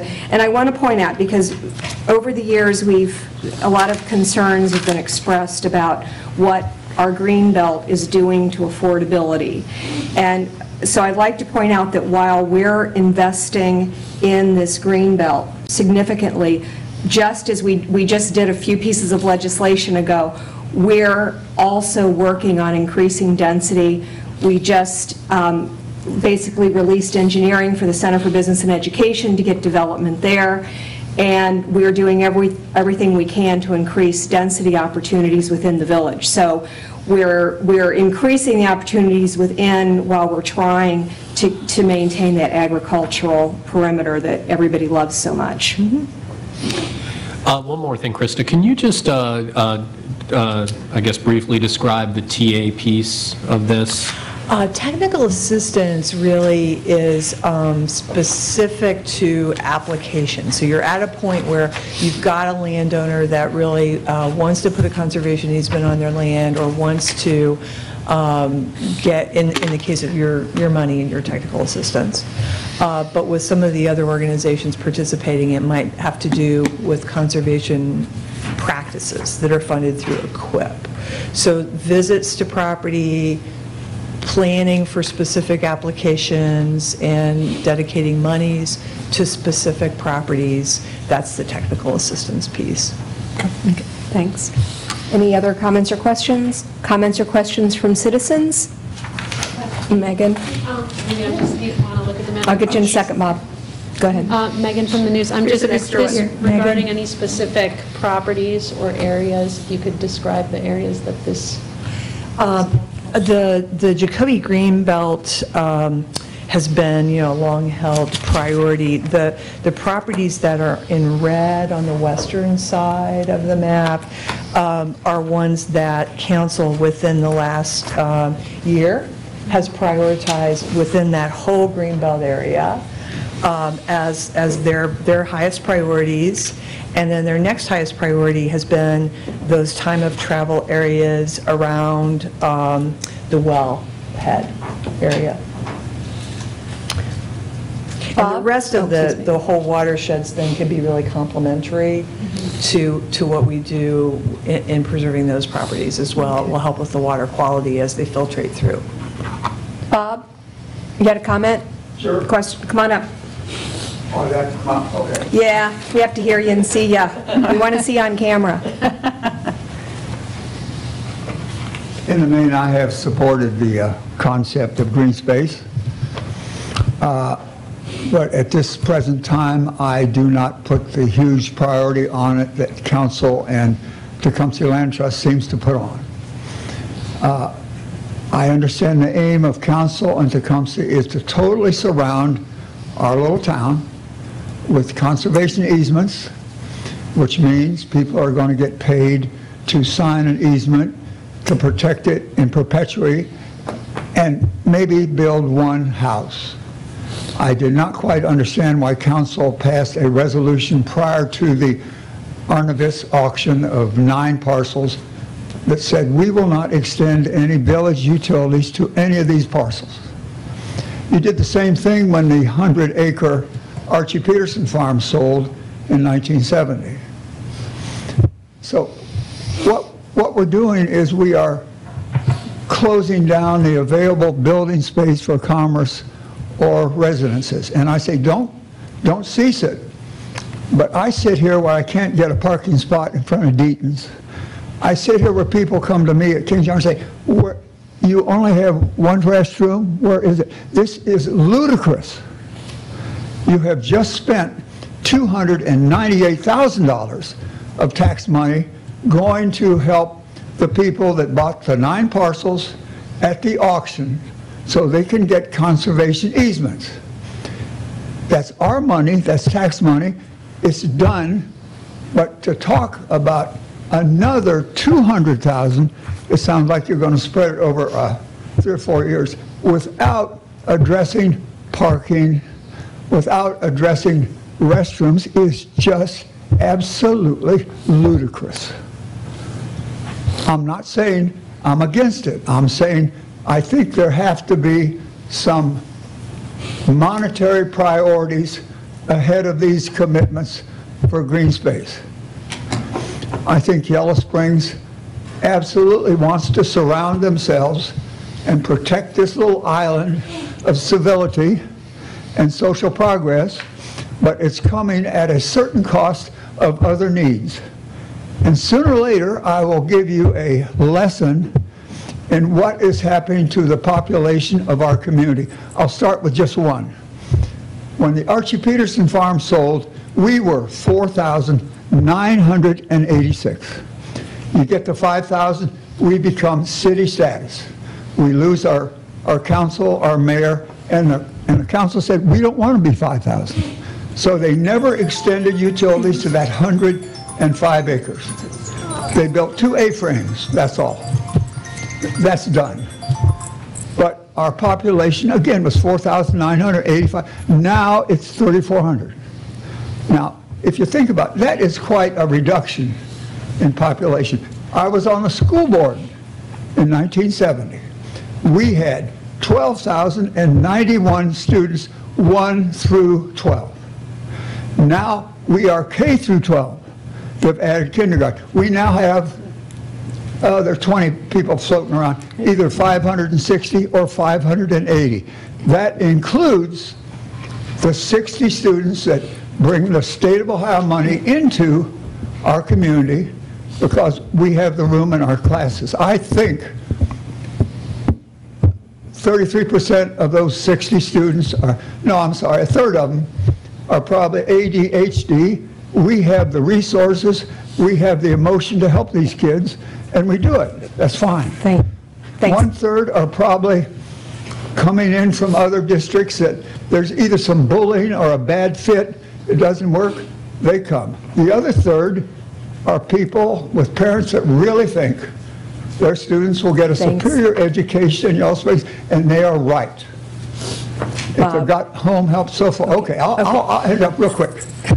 At the same time, we lose 60 homeschooling, private schools, Catholic schools, Montessori schools. So we're still at 560 or 580. That is a far cry from 1,291.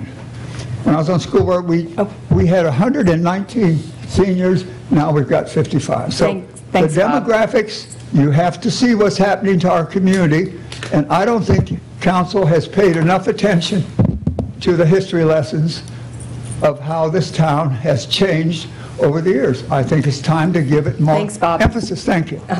I will answer a couple of things. One is that the, the amount expended on the Arnovitz auction properties was $94,000, not, 114 altogether. 114. Between the village and, and, um, But from the village. but, how- so how much village money? paid s- 70. Seven, okay, so it was much, it wasn't 290-some, it was only 70 $70,000, in the range of $70,000. I read the authorization in the, in the Yellow News as 198, you were authorized. We were authorizing, and we just pulled that money back. We just, we just put that money back because it wasn't needed. Um, I I personally think we are paying a- attention to the demographics, which is one of the reasons that we're working very hard to increase housing density within the village. Um, uh, And I will tell you that, and I, well, and I will mention the the rail- the the the restroom situation. I think the village is doing a pretty darn good job between this building and the train station.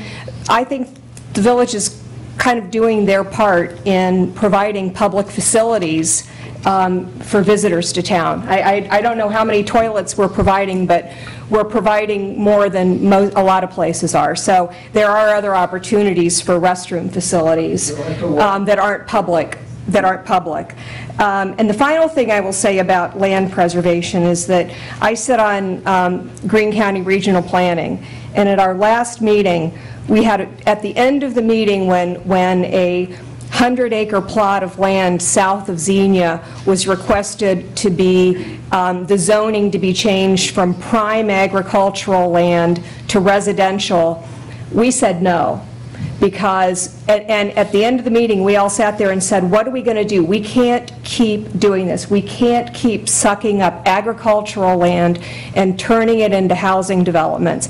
I see Sugarcreek Township is, they have nowhere to go. I mean, they, they are losing agricultural land every day, and houses are coming in, they can't support the houses that, that they're getting throughout that township. So um, I think that we are really cognizant of everything you said, Bob, um, and, and that we're working, and we have been working very hard to address those issues.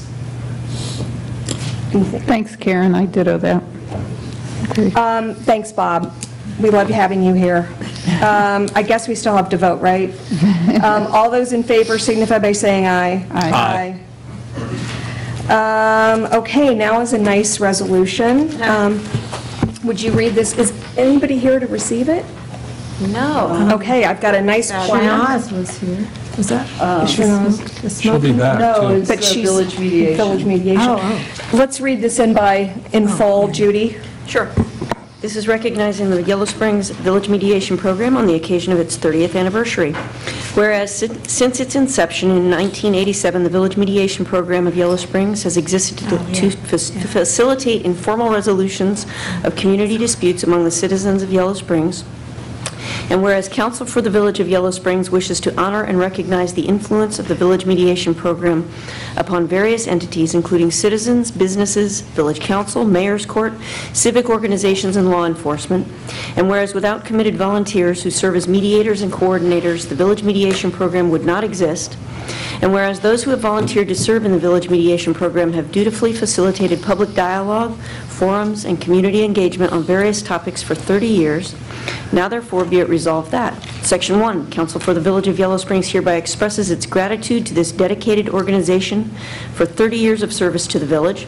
Section 2, Council for the Village of Yellow Springs hereby declares September 14th, 2017 as Village Mediation Program of Yellow Springs Day in the Village. Thank you. Can I get a motion, please? I so move. Second. Okay. Um, Mary Ann, you're the representative. Do you want to say a few words? Um, Well, yeah. I was on the founding uh, board of the mediation program, which was initially started by Diane Alexander, who was clerk of courts. And I think, it- I'm not sure if it was Kent Bristol's idea, I'm not sure whose idea it was, but there's still a number of us around who were in uh, that first cohort. And the uh, celebration is on the 14th. I'm the council liaison to the mediation program, and I would be happy to take that to the celebration and present it. And could you talk about the celebration? When is it? You you said It's the 14th? 14th, and it's at 7 o'clock. But, you know, I'm not sure if it's here or if it's at Antioch. Do Um. I thought it was at AUM, but let me look at my I- calendar but- real quick. Yeah, I wrote it down, but I didn't write down where. I was going to say, uh, some of these more difficult discussions uh, the village has had to have in these larger meetings, like, you know, post the New Year's Eve event, um, the most recent school meeting that they had, mediation has run those, you know, has um, helped uh, run those meetings. Uh, They're a real resource, and, yeah, they're, it's really excellent for us to have them available. Oh, yeah. And do we know yet if it's at AM? We'll, we'll make sure, that maybe that gets onto the Facebook page. Yeah, I'm checking with John right now. Okay. Um, So, thank you. Oh, All those in favor signify by saying aye. Aye. Okay, well, before the meeting ends, we'll let everybody know. Oh, yes.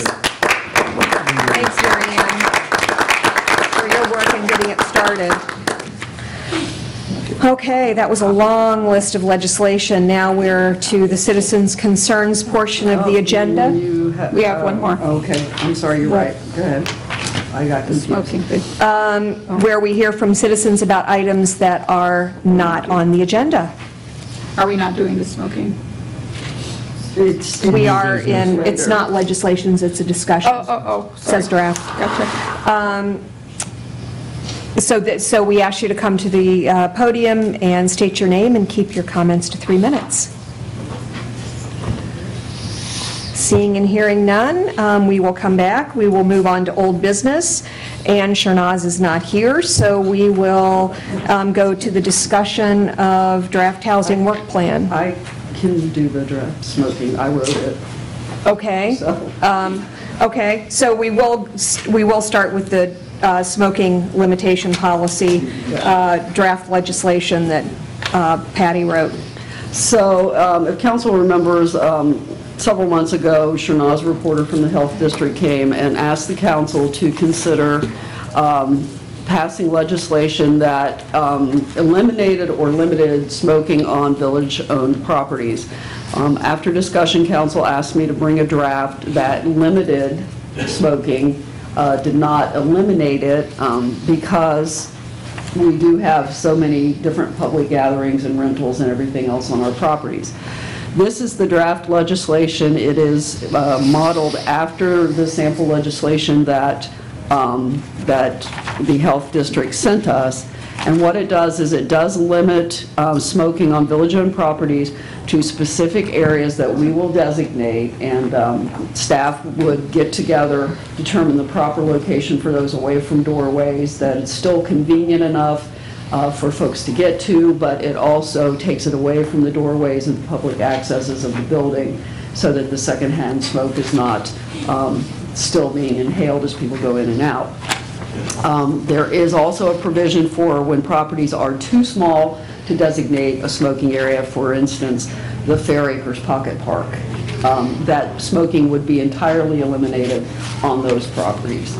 Um, The only question that we have is the, um, and you can see it's in red there because um, Chris and I were having discussions about what the penalties for this would be. The, the enforcement of this is intended to be excuse me, could you please move away from the door and go to the designated smoking area? Um, If you refuse to comply, you get a warning. It would, it would be stepped-up, progressive type thing. And I believe the conclusion that we came to would that this would become a disorderly conduct, um, correct, Chris? So if someone consistently refused to comply with an officer's request to move away and go to a designated smoking area or to extinguish whatever they were smoking, um, then they would eventually be cited with a disorderly conduct to the ma- to mayor's court. So that was the only question that we had about the enforcement. Uh, That's why it's in red. That's what we came up with as far as how this would be enforced by the police department on village properties. So Patty, we currently allow smoking in like Gaunt Park and Yes. it's open? Yes. Okay. I would suggest we have a little, um, a a little card that has some of the information here, because actually, as I read this information, I I mean, I didn't know, you know, that being outside can have as much of an impact in terms of secondhand so- uh, smoke as in a, well, you know, so, you know, smoke, I'm sure there are a lot of people that just are not informed Right. and don't realize that. Maybe we could develop some little kind of a... I- I'm guessing Or maybe, or yeah, maybe Shanaz Shanaz, has something we could that the probably, police I'd like could to have hand our out logo on and it. say, you know... Right, and the, also, the health department does have a grant, and they're going to provide some of the signs Okay. that, that show folks, you can't smoke here, or you can only smoke in designated areas. So they do have a grant, that's kind of why Shernaz was here. They're very supportive of us passing this. Obviously, they would prefer a complete elimination of smoking, but I believe council just felt that that wasn't, um, wasn't the right way to go for, for the village. Do you know how it's going to be addressed with events like the Street Fair Music Festival and that basically takes up the whole area of the front yard? Well, what what we were thinking about was uh, maybe a small smoking, designated smoking area towards the back of the property. If you go out that door um, and you go towards the mm-hmm. woods a little bit, away from the windows, because Melissa and her staff sometimes have their windows open, so away from the windows so that the smoke doesn't come in, but make a designated area over there with perhaps a picnic table or something like that, you know, appropriate So- containers. So it would be, so you would, so you're thinking ahead that the designated smoking areas would be, you're thinking ahead to the events, like the 4th of Correct. July Correct. at Gaunt Park and, Right, um, where are you going to put this? And again, it seems like events, it's going to be a more of, could you please step over to the designated smoking? I mean, it's not going to be a, a- an immediate, we're going to enforce this, you know. Well, and I also like that in particular because part of this resolution focuses on the modeling to our youth, uh, you know, besides just the proximity. Um, I guess I want to say, uh, I I- I suppose I understand why we're talking about an exception uh, here at the Bryan Center um, because of employees, but um, I I guess personally, I don't, I think we should ban smoking completely at the parks. Well, we do have uh, events at some of our parks. Like, for instance, we have events at Gaunt Park, and we have events at Ellis Park. Um, And people do smoke at those events, and so it's, it's a question of, you know, the the rentals and things. so- would you explain, I, I- maybe, I don't know, if it would maybe be good if Shanaz was here. I mean, what's the situation with streets and sidewalks? We're not even talking about streets and sidewalks, which are village property. Yeah, Correct. So what, I mean, what is the situation? Is somebody, so can, if, could somebody go onto the sidewalk? Let's say we did ban it completely at Gaunt Park, could they simply go onto the sidewalk? Chris? Sorry. I I think if, one, if there were a, uh, an- a rash of smoking ban enforcement uh, actions taken throughout the state, one, we would know about it. It's it's an exceedingly hard ban to enforce against those who want to ignore it. But I think that over time, I think that we've seen that people have come, become used to the law, they're respecting what the expectation is. So I, I think that in the sense of uh, what I'll call common sense, rational enforcement, uh, which is consistent with the standards that the, the village and council have been talking to PD about, is that one expects that, that, what I'll call progressive discipline model that starts with, hey, would you please do this? And I think that we, you find that most people will ultimately comply with that. Um, It's the rare instances where I- I- it rises to that next level. That's when, I think Patty's right, when you start talking about, if you actually wanted to enforce this, my guess is that the police interaction would rise to the level of a disorderly conduct act, independent of the smoking, because they would be, that individual would be continuing to engage in offensive conduct or persistent conduct, which is embraced by the, co- by the context and the elements of disorderly conduct. I don't know if I'm answering your question Yeah, where, do- where do streets and sidewalks fall? Well, the, if you went, I believe, and I have not researched this, but if you went to a complete ban, I think that it would, you would not be able to smoke on streets and sidewalks either. I'm not for doing that. I think, um, you know, unless we want to hire another five police officers to enforce this, I just, I think we need, we should think of it as educational um, in terms of our, uh, at least as a first step, let's do this, let's see how it goes. But I, I just, I mean, I think it's kind of a practical question, too, and, and we're trying to, we want our police officers to have good relationships with the people, you know, around them, and you're asking them to enforce all this stuff, it's just, you know, it's, to me, we should just start here and let's see where it goes. I could share with you that uh, my son, who's now enrolled at the University of Cincinnati, they have gone to a s- entirely smoke-free campus, and there are no designated smoking areas. Central So- State is a smoke-free. Pardon me? Central Yeah, a lot of, I mean, campus. if you're going to say, uh, you know, we're going to exempt the Bryan Center, in fact, you know, many hospitals, many medical organizations, there is no smoking when you work at all, you know, so that's not an exception, actually, that's being, Do people, so I assume in those But I'm not situations, saying it people should go to their happen. cars? well, as a hospice nurse, we were told we were not allowed to be smoking in our car because part of our work is we're driving places. Well, we were on the clock. I mean, I imagine during your break, you know, that's your own time, but other than that, you're Well, not. and then you smell like smoke, I mean, talk about, yeah. Students at Central State drove off campus. Take off wow. campus. Mm-hmm. But I, I think let's take Because this, it's- I would I, I agree with Judith. I think we take this step, and in terms of modeling, quite honestly, I think modeling of youth is mostly, you know, where you see heavy smoking in families, the youth smoke. I don't think the modeling in a park where kids playing of a, you know, somebody who, you know, they don't know is smoking, I mean, I'm not sure that has such a great impact. I think it's more, you know, generally, these kind of modeling is, is more. But it is in this resolution. It's one of the...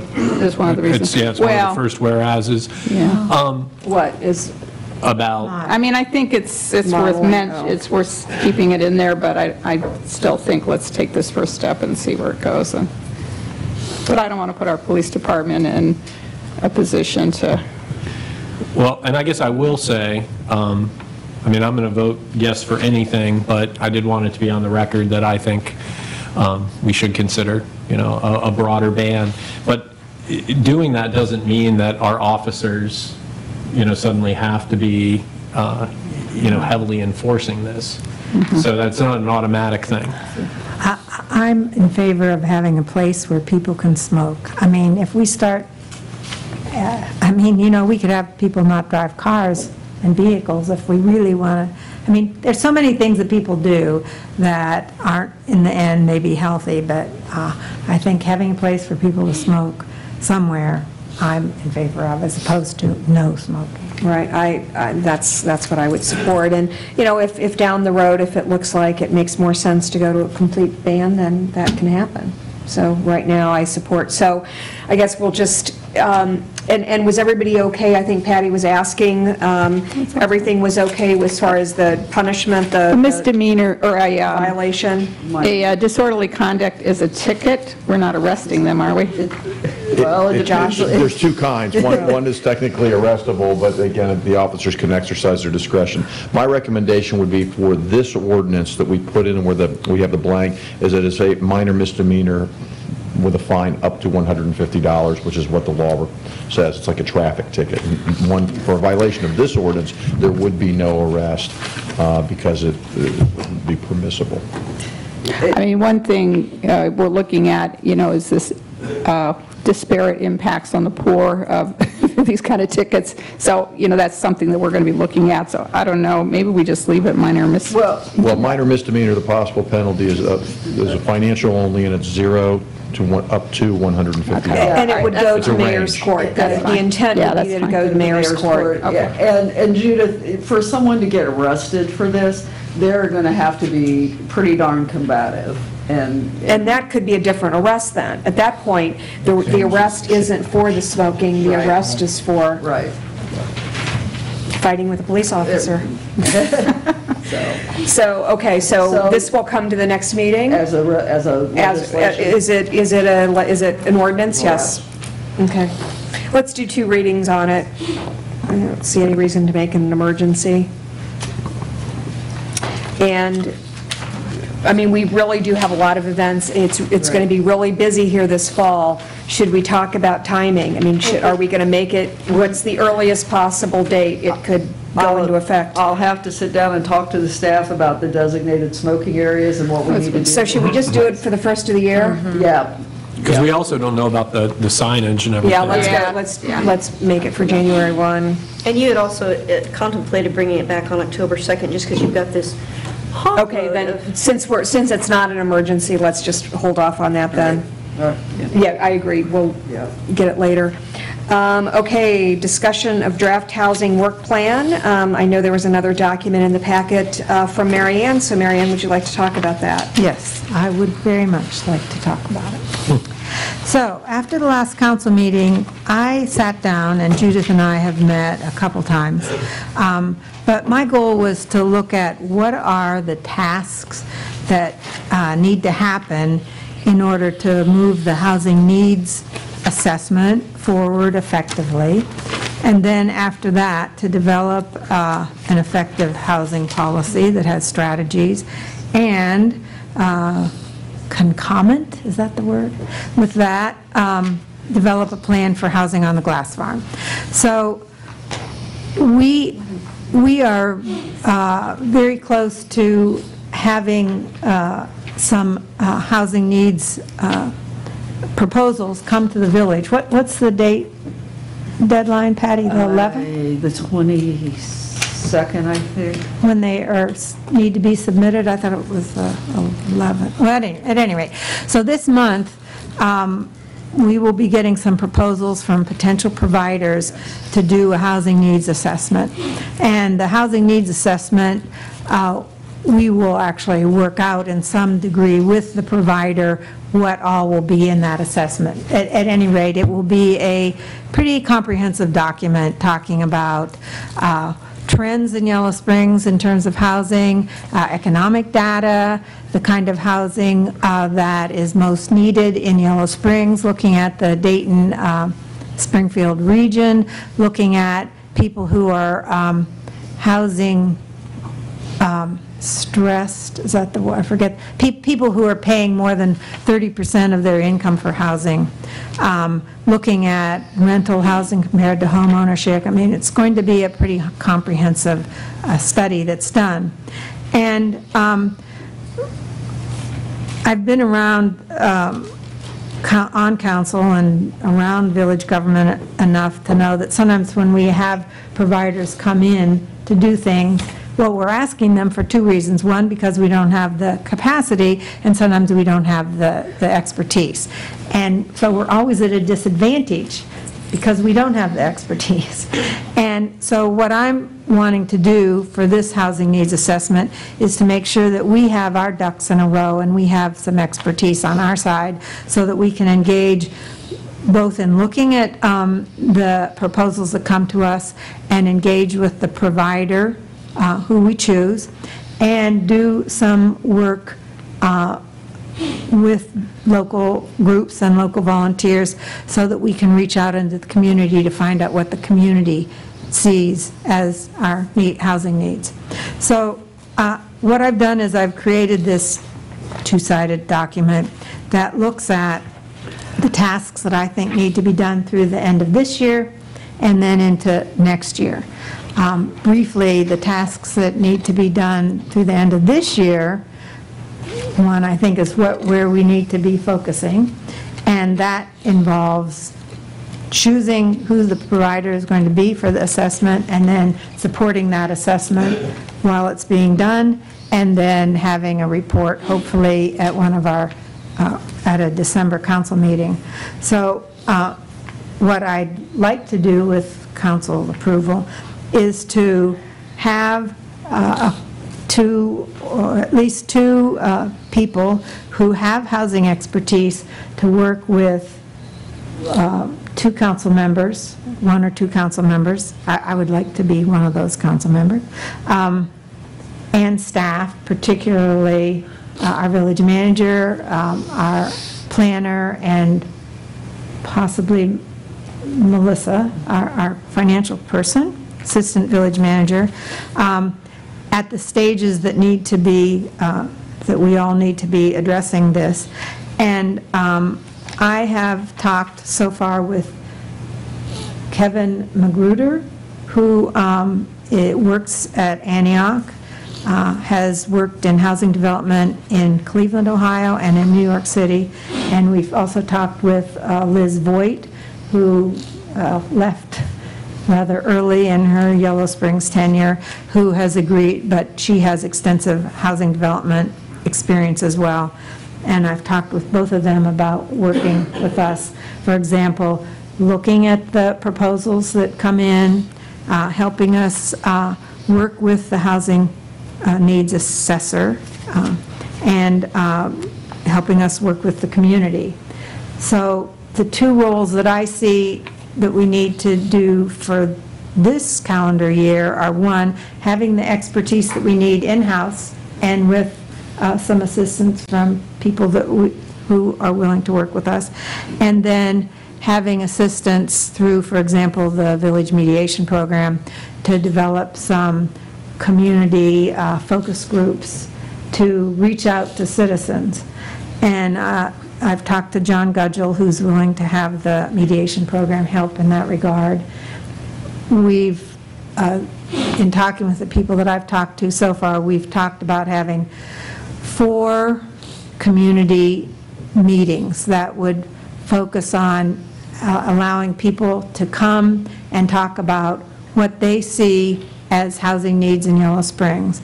And we've talked about involving the senior center, and we've talked to the uh, Karen Wolford at the senior center, um, involving young families and young adults, and Don Breuer from the schools is our contact person who will be helping from the, uh, with the schools. Um, Reaching out to the minority community, especially the African-American community, uh, and having uh, a group that target, focuses on that group, and then having one general um, meeting for anyone who wants to come. And so these would be facilitated discussion groups, uh, allowing people to have input uh, within a group setting. I also think it's important that we have surveys that people can fill out individually, both probably online as well as hard copy. And how that piece gets done, I, that remains to be seen, but it is something that needs to be worked on. Um, Then I've, I've outlined some things for the next year, which would be involving uh, developing the housing policy and starting work on planning for housing on the glass farm. Um, I think I'll stop now, uh, except to just to say, I really think we need to start working right away on what we will be doing this year. So I'd, I'd like to get comments and questions, thoughts from council. I guess I, I want to just put in, a fill in a little more detail um, that I've been thinking about in regards to all of this. Um, First, uh, first of all, yeah, I was, I was thinking that um, we should tonight make a decision about, um, if possible, uh, who is going to help Marianne, uh, Patty, I don't know who else, in looking at these RFP responses, the, uh, and making a decision on the consultant that we're hiring for the housing needs assessment. And I would like to suggest that be, that Liz Voigt and uh, Kevin McGruder, who who are experienced in housing needs assessments, um, help with that process. I know Marianne already mentioned them, but I, I support that idea. Um, I was thinking that we really need to identify who of staff is really going to lead on this, and I would very much think it would be Patty. I mean, it's, this is going to be a very large project, and Denise, and that we kind of see them as taking the lead uh, in terms of the staff. Um, This piece about the input for the housing needs assessment, um, one thing that I talked to Liz Voigt also, as well as Marianne, and um, she pointed out to me, you know, we don't have to figure out all the detail of getting that because they are going to give, they, you know, part of what we want from them is to, you know, we want to have meaningful discussions. We don't want to have an open, wide open discussion about what are the housing needs. That's not going to give us the input, that's the qualitative input. That is going to, so that's one of the questions, you know, of the consultants, you know, they are no doubt standard, uh, you know, uh, questionnaires and, you know, assistance that they can provide for how you get that input, including the electronic, if people are going to go online, you know, questionnaires, um, but also those meetings. What I would think is, once we hire that person, they come to a council meeting, I'm getting very concrete now, they come to council, and they make a presentation of what they're going to do, or I don't know if we hear from them before we hire them, I'm not sure, maybe not, maybe we wait, and, you know, try to trust this, this group of people to make that decision. Um, But anyway, once, with the- once the decision is made, that they come and present to council, and they make clear the kind of data that they are going to be looking for from the community. Um, And I, and then uh, after that, there's these, you know, Marianne mentioned, you know, seniors, um, young singles and families, and then um, there's going to be what I think of as, you know, the, like, what was, oh, and then people of color, particularly in this community, the African-American community, um, and then this fourth, maybe catch-all for people who don't necessarily fit in any of those categories. Um, I was thinking staff could coordinate those meetings um, in terms of where they are. They should be places where those groups of people will be comfortable and, you know, be able to draw on those communities, organizations that are going to draw those people into these discussions. Um, uh, You know, the consultant's not going to come to every one of those meetings. I'm not sure the mediators are going to be in a position, so, you know, I'm not quite sure who's leading that discussion, because it's going to be somebody who has to have some knowledge. I don't know if it's Denise and Patty, I'm not sure who that is, maybe Marianne. I don't know who that is exactly. But I think that has to be someone who has some understanding of what this is all about. Um, And, but, so I was thinking of Patty and Denise as kind of coordinating that piece. I don't know how you feel about it, but, because I think it's, you know, and that they would be interacting with, you know, senior center is one focus, say. Maybe that meeting's at the senior center. Maybe the African-American community, maybe it's happening at, I don't know, the AME church or, or the Baptist church or, or someplace like that with the help of 365 and so on. Um, You know, the school is a good locus for young families, but I don't know where the single, you know, the young artists, the singles, I don't know how we draw those people in, maybe, but, um, so I was thinking of, yeah, Denise and Patty is coordinating that with the help of, you know, s- you know, people in the community who are leaders in those communi, in those particular communities, and um, that, you know, that they just coordinate that and, and try to think a little more carefully about who is leading those. I mean, mediation helps to coordinate it. There's probably materials coming from the consultant uh, to help focus those discussions, but, you know, I'm not quite sure who those people are, but anyway, that was my thoughts. I'd like to start with, I guess, Marianne and Patty. How do you see the selection being made of the housing needs, the consultant? I I was uh, seeing it as, uh, assuming I'm the council person, and if there is another council person, so one or two council people, Patty, Denise, and Liz and Kevin. So, Making the selection. and and there is a, there is a weighting percentage in the RFP of what the, the decision will be based on.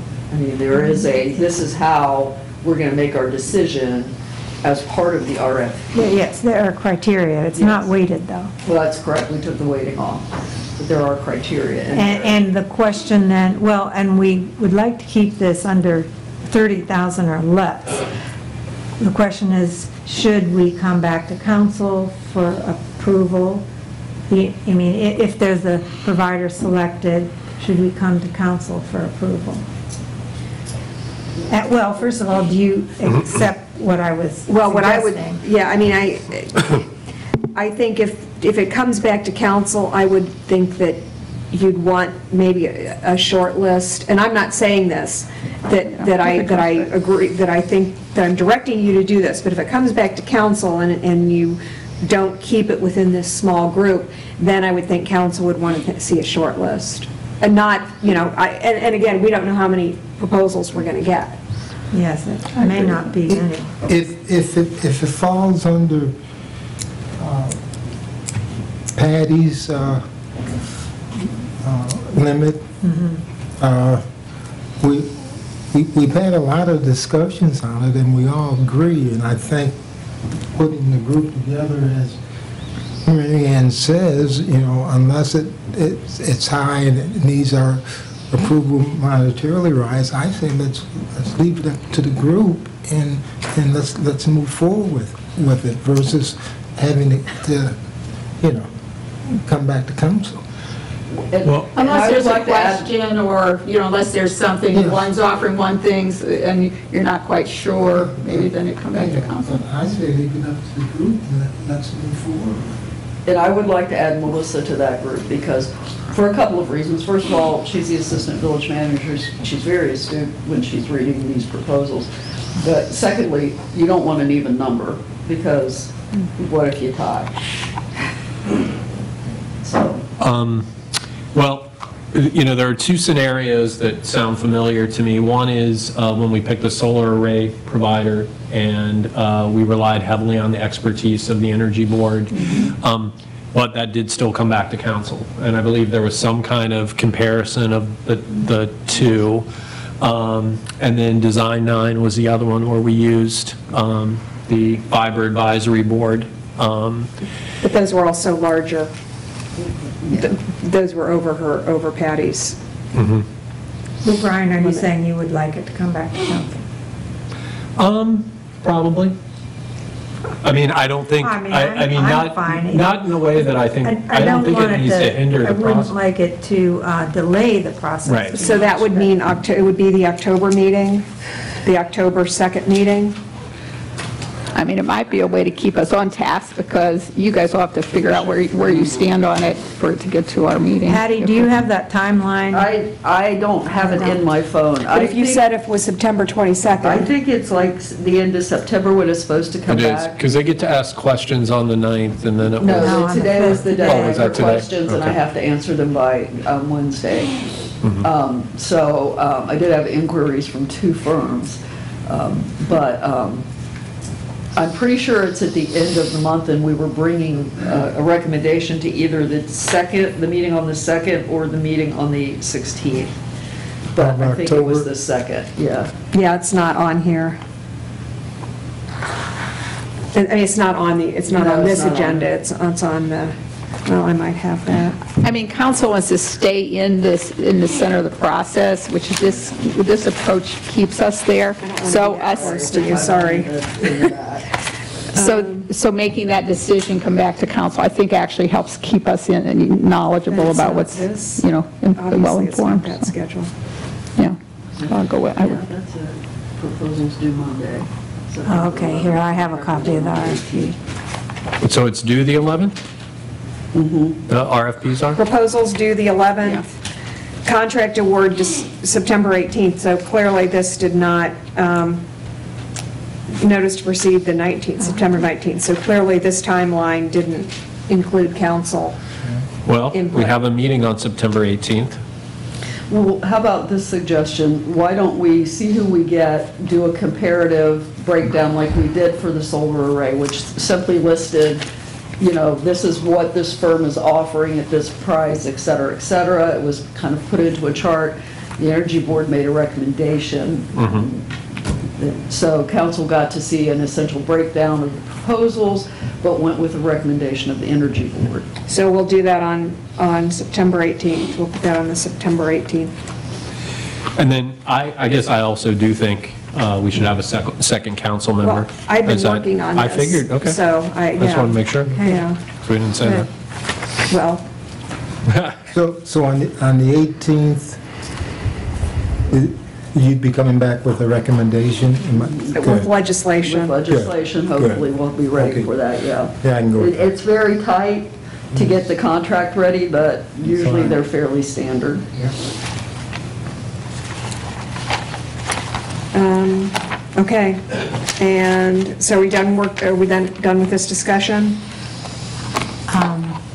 Now, we- we- we'll, we'll have other discussions on it, right? Yes. as- Based on, Yes, I think we will be discussing this at every meeting.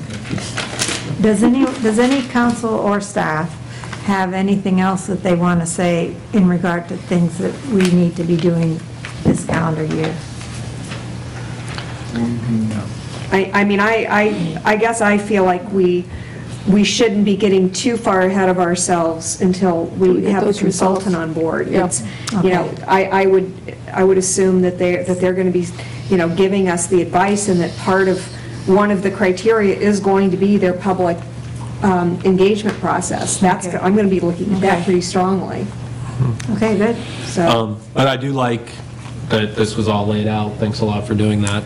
And uh, I think the tasks piece is really important. So, And given that this is a project that staff and council will be involved in, um, well, first of all, any help in process and thinking about it and timeline and everything, but this can be uh, an, maybe a test of some of the things we've been talking about, about being thoughtful in how we move along and And- and not account- dropping things. and accountable. accountable. Yeah. Great. Okay, um, Brian, you wanted to talk about Complete Streets? Uh, yeah, so I think, um, uh, I guess we've got two things that, that we could consider. Uh, Maybe there are other ideas. One is, do we have a separate public forum? Um, And it sounded like at the last meeting, there was some interest in that. Um, A second option that has occurred to me is a special report to council. Uh, And so, you know, we do it in this uh, forum. Um, I know that uh, Judith, you were working, but the rest of us were uh, at that Complete Streets workshop, and, and I think we were all pretty impressed, as was staff. Um, So I guess that's the first thing is, is there a I preference? think it's a ni- good idea to do a little presentation here, because, you know, the community will hear it. Okay. As well as me. Okay.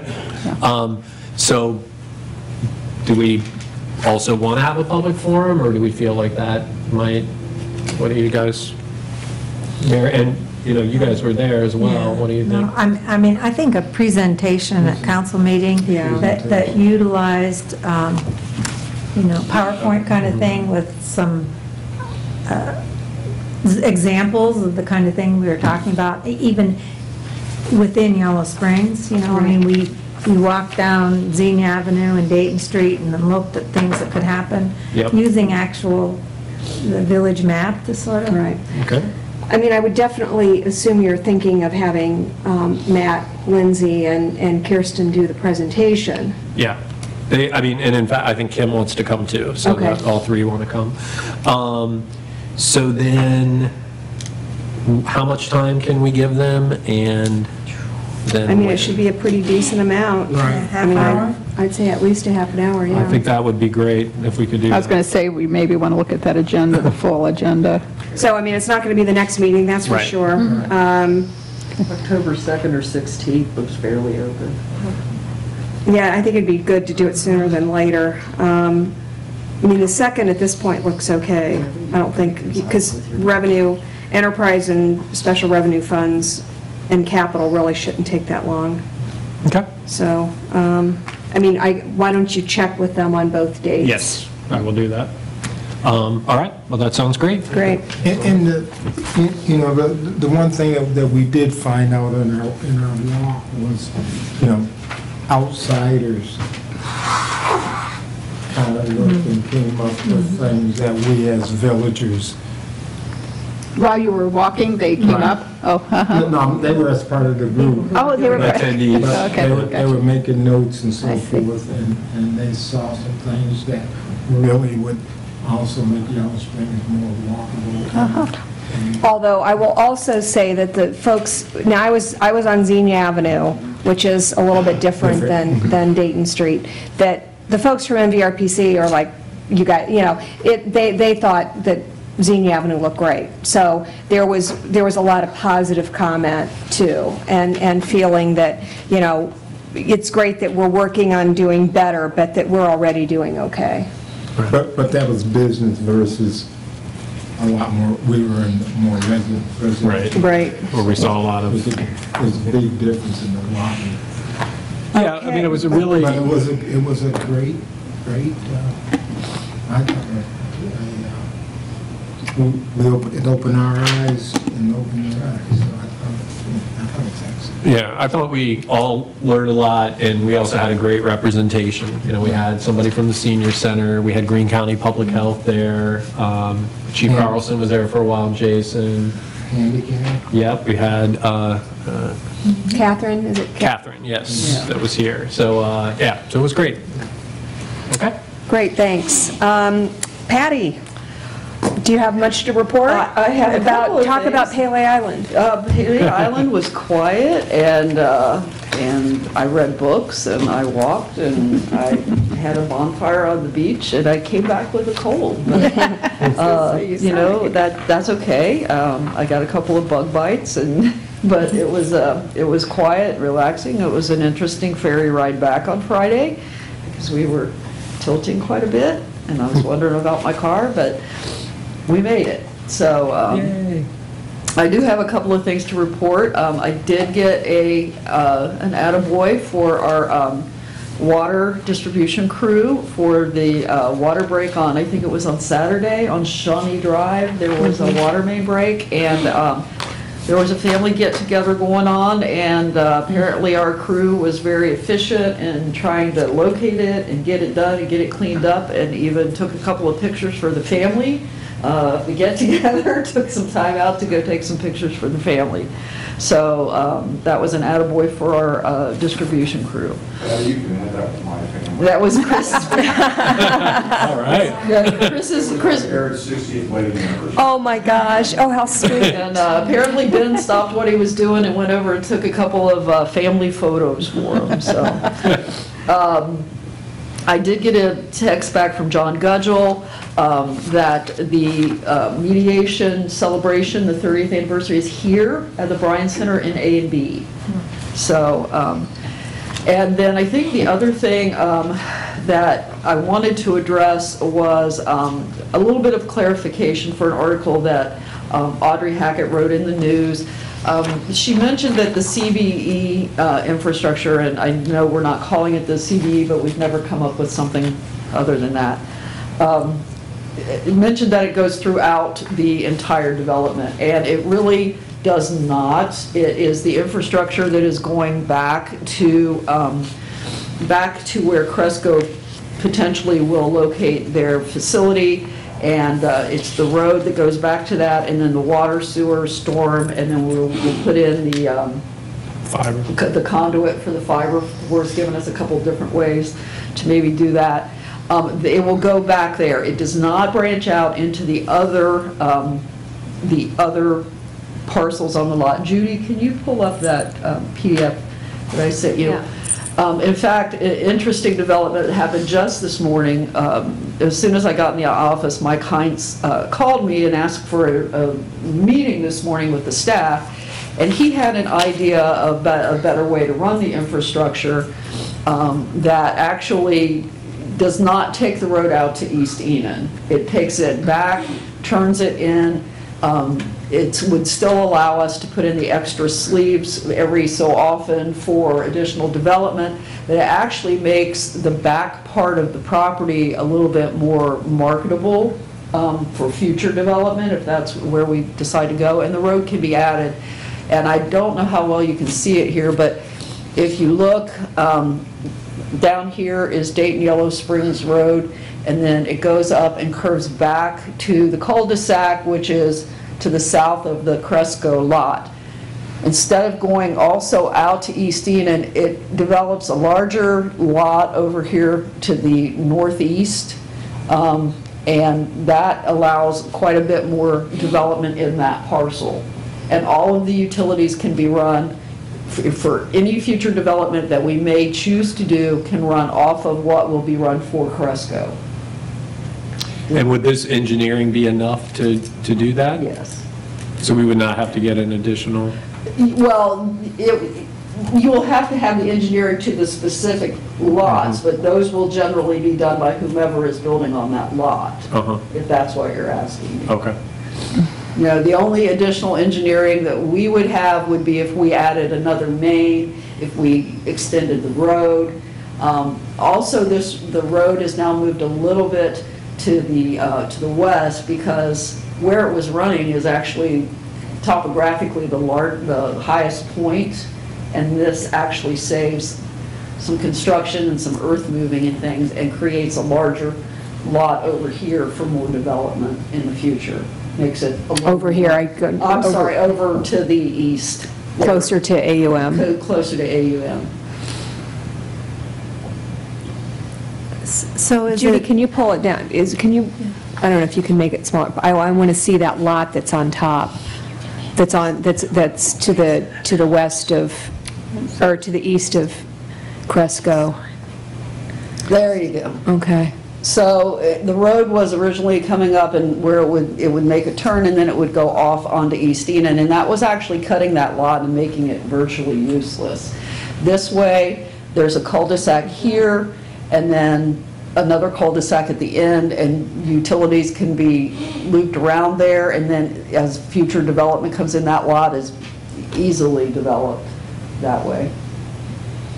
And has this been run by the fire department?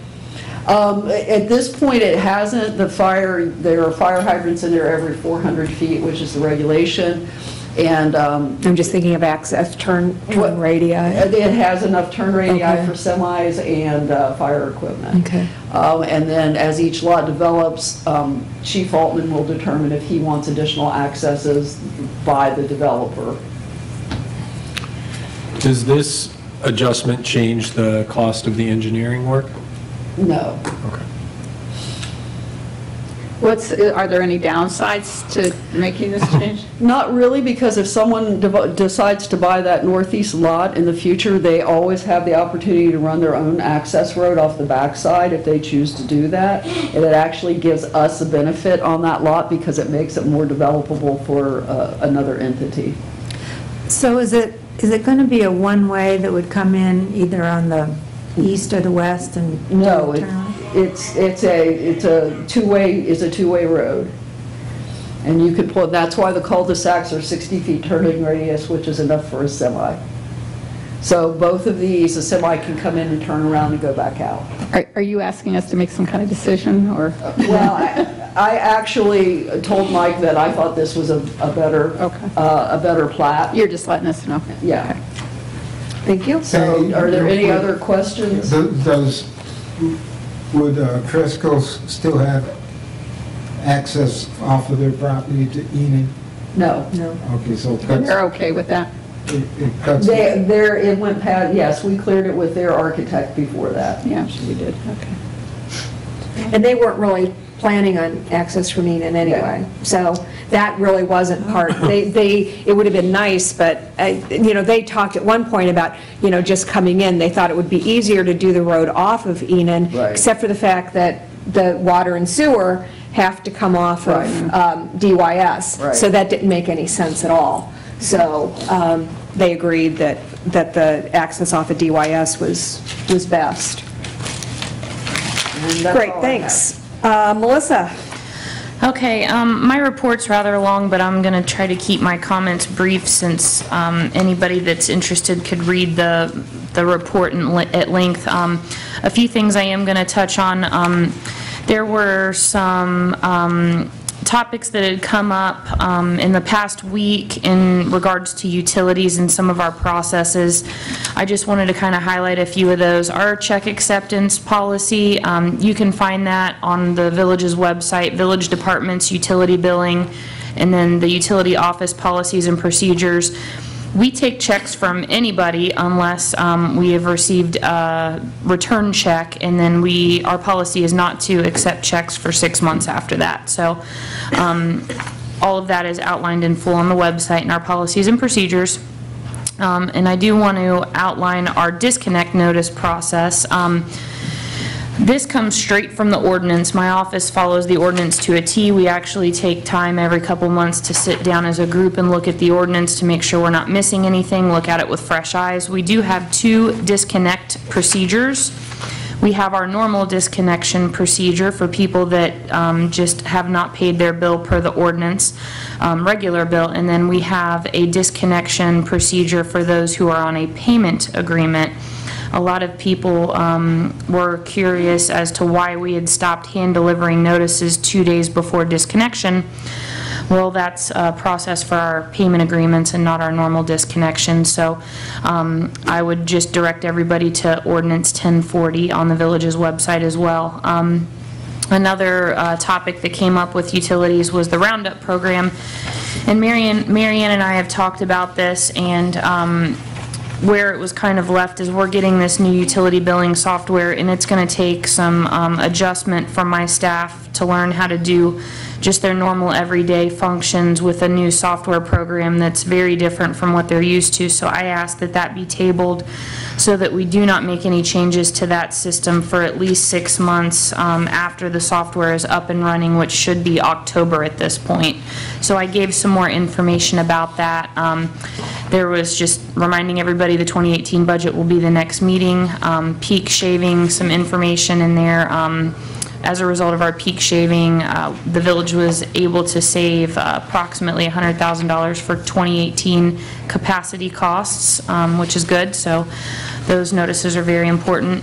Um, And I also included uh, our ordinance on our disconnection policies in my report. And one final thing is that last week on Thursday, uh, there was a, a group meeting with the Ohio EPA. It was a great meeting. Um, Karen and Brian were also there, um, myself, Johnny Burns, um, Brad Alt, some of the people from Shook, um, also from our engineering firm, um, Dayton staff, some people, some folks from Columbus EPA were there. And it was a really good meeting. Um, We talked a lot about collaboration and how the village can work with the EPA um, in terms of bringing our new water plant online, um, getting some of our older uh, pipes that are in the village flushed out to try to minimize brown water moving forward. Uh, They talked about developing a communications plan to make sure that uh, citizens and villagers are notified in a timely manner anytime there's going to be any kind of a change to the system with this new plant coming online or hydrant flushing, so that if there could be any brown water, we're able to get that information out in a timely manner um, through a number of different methods. Um, So we're going to have uh, some brainstorming happen in terms of that communications plan, what it's going to look like, some different uh, ways to do some outreach, um, unlike what we've done in the past, since this uh, new water plant is going to be such a, a great thing for the village, and really trying to communicate effectively with uh, all of the villagers in terms of what that new water plant is going to do, what we were dealing with with the old water plant, and just really educate folks on our water as well. So I'm really excited. I think that there's going to be a lot of good stuff that comes from uh, that meeting that we had on Thursday. So I think that that's it for me, unless Karen or Brian have anything to add on that. Go ahead. I would just like to thank Melissa for, I, I, I went to someplace last week where I couldn't get reception, so it- it- Melissa did a great job. There was a lot going on in the village last week, and I'm just really, really pleased and can't give her enough credit for what she did last week, so. Thank you. Thank you. Yeah, and I, I just want to add, um, you know, we had seven people from Ohio EPA at that meeting. Um, And as uh, Melissa said, it was very collaborative, they want to support us. They talked about helping us with fact sheets. And uh, I also heard what Marianne said to you uh, afterwards. Um, And I agree, you really did an amazing job handling that meeting. Thank you very much. And, uh, and clearly, if a, a state agency is impressed, that says something, so. And there were actually eight, Brian. Oh, There were there eight OEPA people, yeah. Oh, I It was-? Yeah. Okay. It was great, and they were, you know, as everybody said, they were very supportive, and we're going to be, they're really going to help us get through everything that is to come. And, and the plant, they were incredibly impressed with the plant, and we can't wait to show it off. We don't know yet when that's going to be, but we can't wait. So, um, Judy? Just wanted to thank uh, Samantha Stewart and her crew, and Jason and his guys for keeping the pool running all summer. It- it- I'm sad it's closed, but it was a great summer. Um, How did the uh, doggy thing go last night? Well, as Doggy you can swim. imagine, 30 to 40 dogs and all of their owners and a lot of water. It was really calm and uneventful. Also a horse. I was going to say. Just saying. Also what? A horse. A horse was in the pool? Of course. It was uh, really interesting to all the dogs. So, it, you know, it was a great, calm way to spend the evening. Was there a lot of barking? It was, a yeah, a lot of barking, but it was, people were very happy and excited, and it was just something really different and interesting, and that was a great idea that they came up with, and it went, it went fun. great. So this was Boy, a could it not have gone fundraiser, great. correct, for mm-hmm. What's that? new boards or something, new? Yeah, yeah. So it, it- yeah, it could have gone really so south, but it didn't at all. There were no dogs at the bottom of that pool, and it's good. Didn't I hear that one of the lifeguards actually had to rescue a dog? She did, she Oh. did, she got that dog. All good, and his chew toy. Just, um, And just uh, heads up, kids are, kids are riding to school in their usual disjointed and distracted fashion, uh, and a lot of parents are using their cell phones all at the same time, so please beware. That's it. Thank you. Sergeant And- and a com- And a Oh. comment on that real quick, when she mentioned the kids riding bikes, the uh, little designs that we put up. The Sharrows? Sharrows has really made a difference. Motorists are actually paying attention, and I haven't seen that many s- swinging out around. A- Actually, the, a couple days ago, I was riding down Xenia Avenue, you know, in the middle of the road, and I heard a honk, and I wasn't sure if it was honking at me, but I kept riding, and then I heard another honk, and then this car passed me as close as it could, honking at me, and ran down, and I, I was so mad, I did something good, but I really wish I had gotten the license plate. You have a three-foot law now. Have you, have you caught, are you guys looking for that? What's that? The three-foot law, that you have to be three Oh, feet away three from... feet away from the bike riders? from a cyclist, Yeah, yeah, I wouldn't say we're actively measuring the three feet. Oh, but you can usually tell. You can tell, you can Yeah, tell. you can tell. Um, On, the on the school thing, Chief Carlson had put out some information to the parents about when there's dropping off their students at Mills Lawn to have their children exit on the curbside, not in the roadway, center line side of their vehicle, so kids aren't darting in between cars.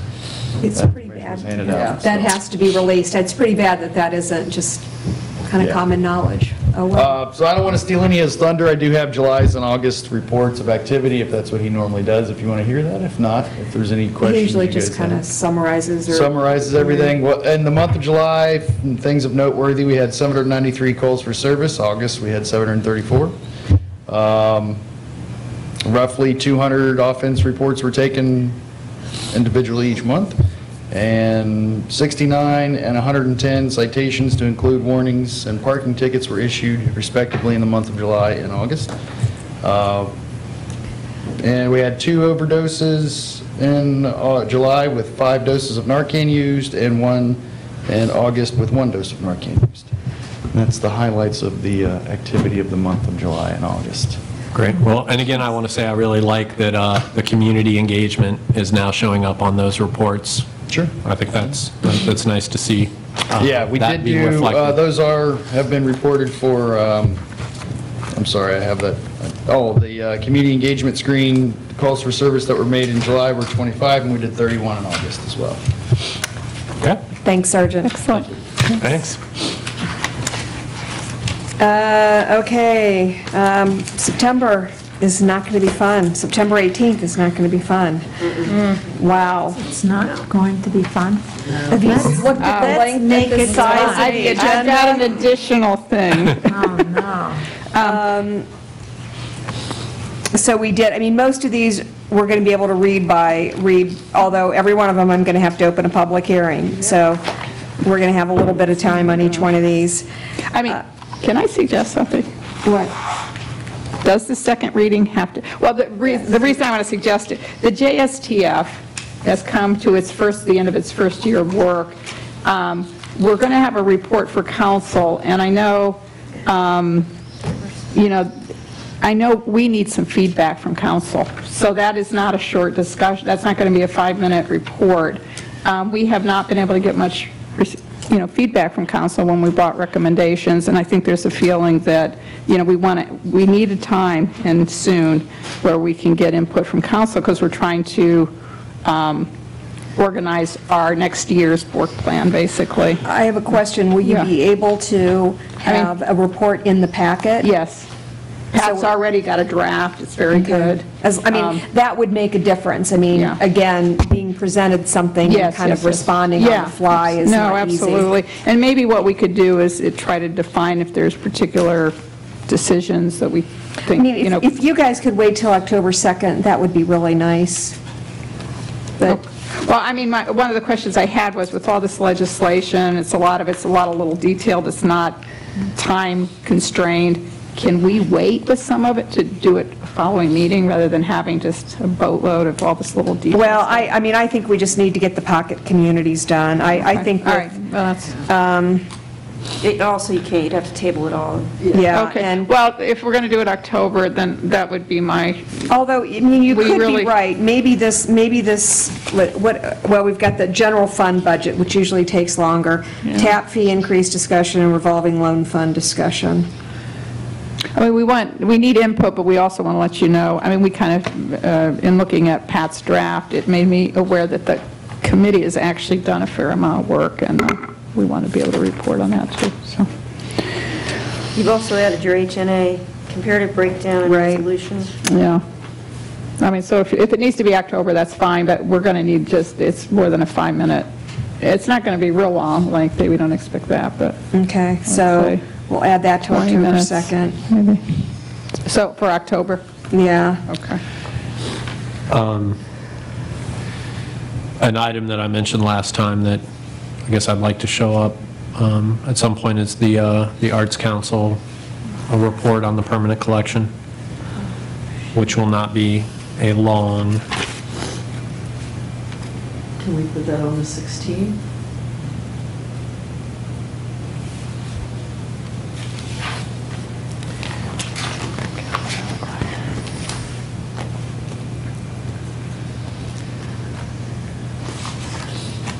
So, and and we can't forget that we either, probably October 2nd, we've got a half hour, dedi- which is, which will probably turn into longer than that, dedicated to complete streets. Mm-hmm. When is that? October 2nd, possibly October 16th, depending upon the schedule of the folks that are coming. I mean, I guess one question I had, yeah, I mean, Can you give us some idea of what, what to expect with the Arts Council discussion? Because clearly, when that came up, the permanent collection situation a few years ago was um, a difficult discussion. I mean, are you, ex- what are you bringing? Well, the permanent collection is what's now housed at Antioch University Midwest. Right. So I think it's pretty straightforward. So it's, it's basically just, we've got a place to store the art. Um, It's going to be slow movement. Um, We've already talked about, you know, that Patty and staff will help sort of section by section, think about what art would fit in those different areas. So if, if, is it the Arts Council's permanent collection? Yes. Okay. Yes. Um, And so they would like to bring it back to a more logical home, um, but this will be a and where is it going to be held? Where's it going to be kept? Oh, well, the things that aren't hanging, we've got, we found a space behind the uh, stage, Okay. behind the gym. Um, It's got uh, Nancy and... So things uh, will kind of be moving? Yeah, they'll revolve things out. Um, But, uh, you know, so I think basically uh, Nancy wants to show us, you know, some examples of what it looks like, but you can really see it all at Antioch University Midwest right now. And, um, and then just see if we're good with that. So what, so is, are we going to need legislation, or is this simply a discussion? I think it is uh, a short special report that, I mean, if we have any feedback or comments on, um, but uh, the Arts and Culture Commission has already reviewed it, Patty's already reviewed it, so. Do you, do you want to put it on for the second, since we've got a kind of a hanging question about the complete st- streets presentation, and then that can be maneuvered on the 18th if you need to move something at that point, just give it a placeholder of the second. Okay, let's do that, If yeah. they're able to be a little flexible on it, Brian. Right. And also, I should mention while we're talking about it, uh, we will know tomorrow whether the revolving loan fund will be ready to come to us on the 18th. Okay. there's So that's a possi- a Possibly may may need to move. What is that, uh, a possible Um, request for summer? No, So this is our, uh, you know, we've had, we had a revolving loan fund in the past, and so this is reviving that loan fund. Um, And uh, the credit union uh, has agreed to help us with the uh, fiscal piece of reviewing. Um, So, and we have some money that's still there. Okay, so it looks like we're pretty full on the 18th and pretty full on the, getting full on the 2nd, so, um, and the 16th. So um, entertain a motion to adjourn. So move. Second? All those in favor signify by saying aye. Aye.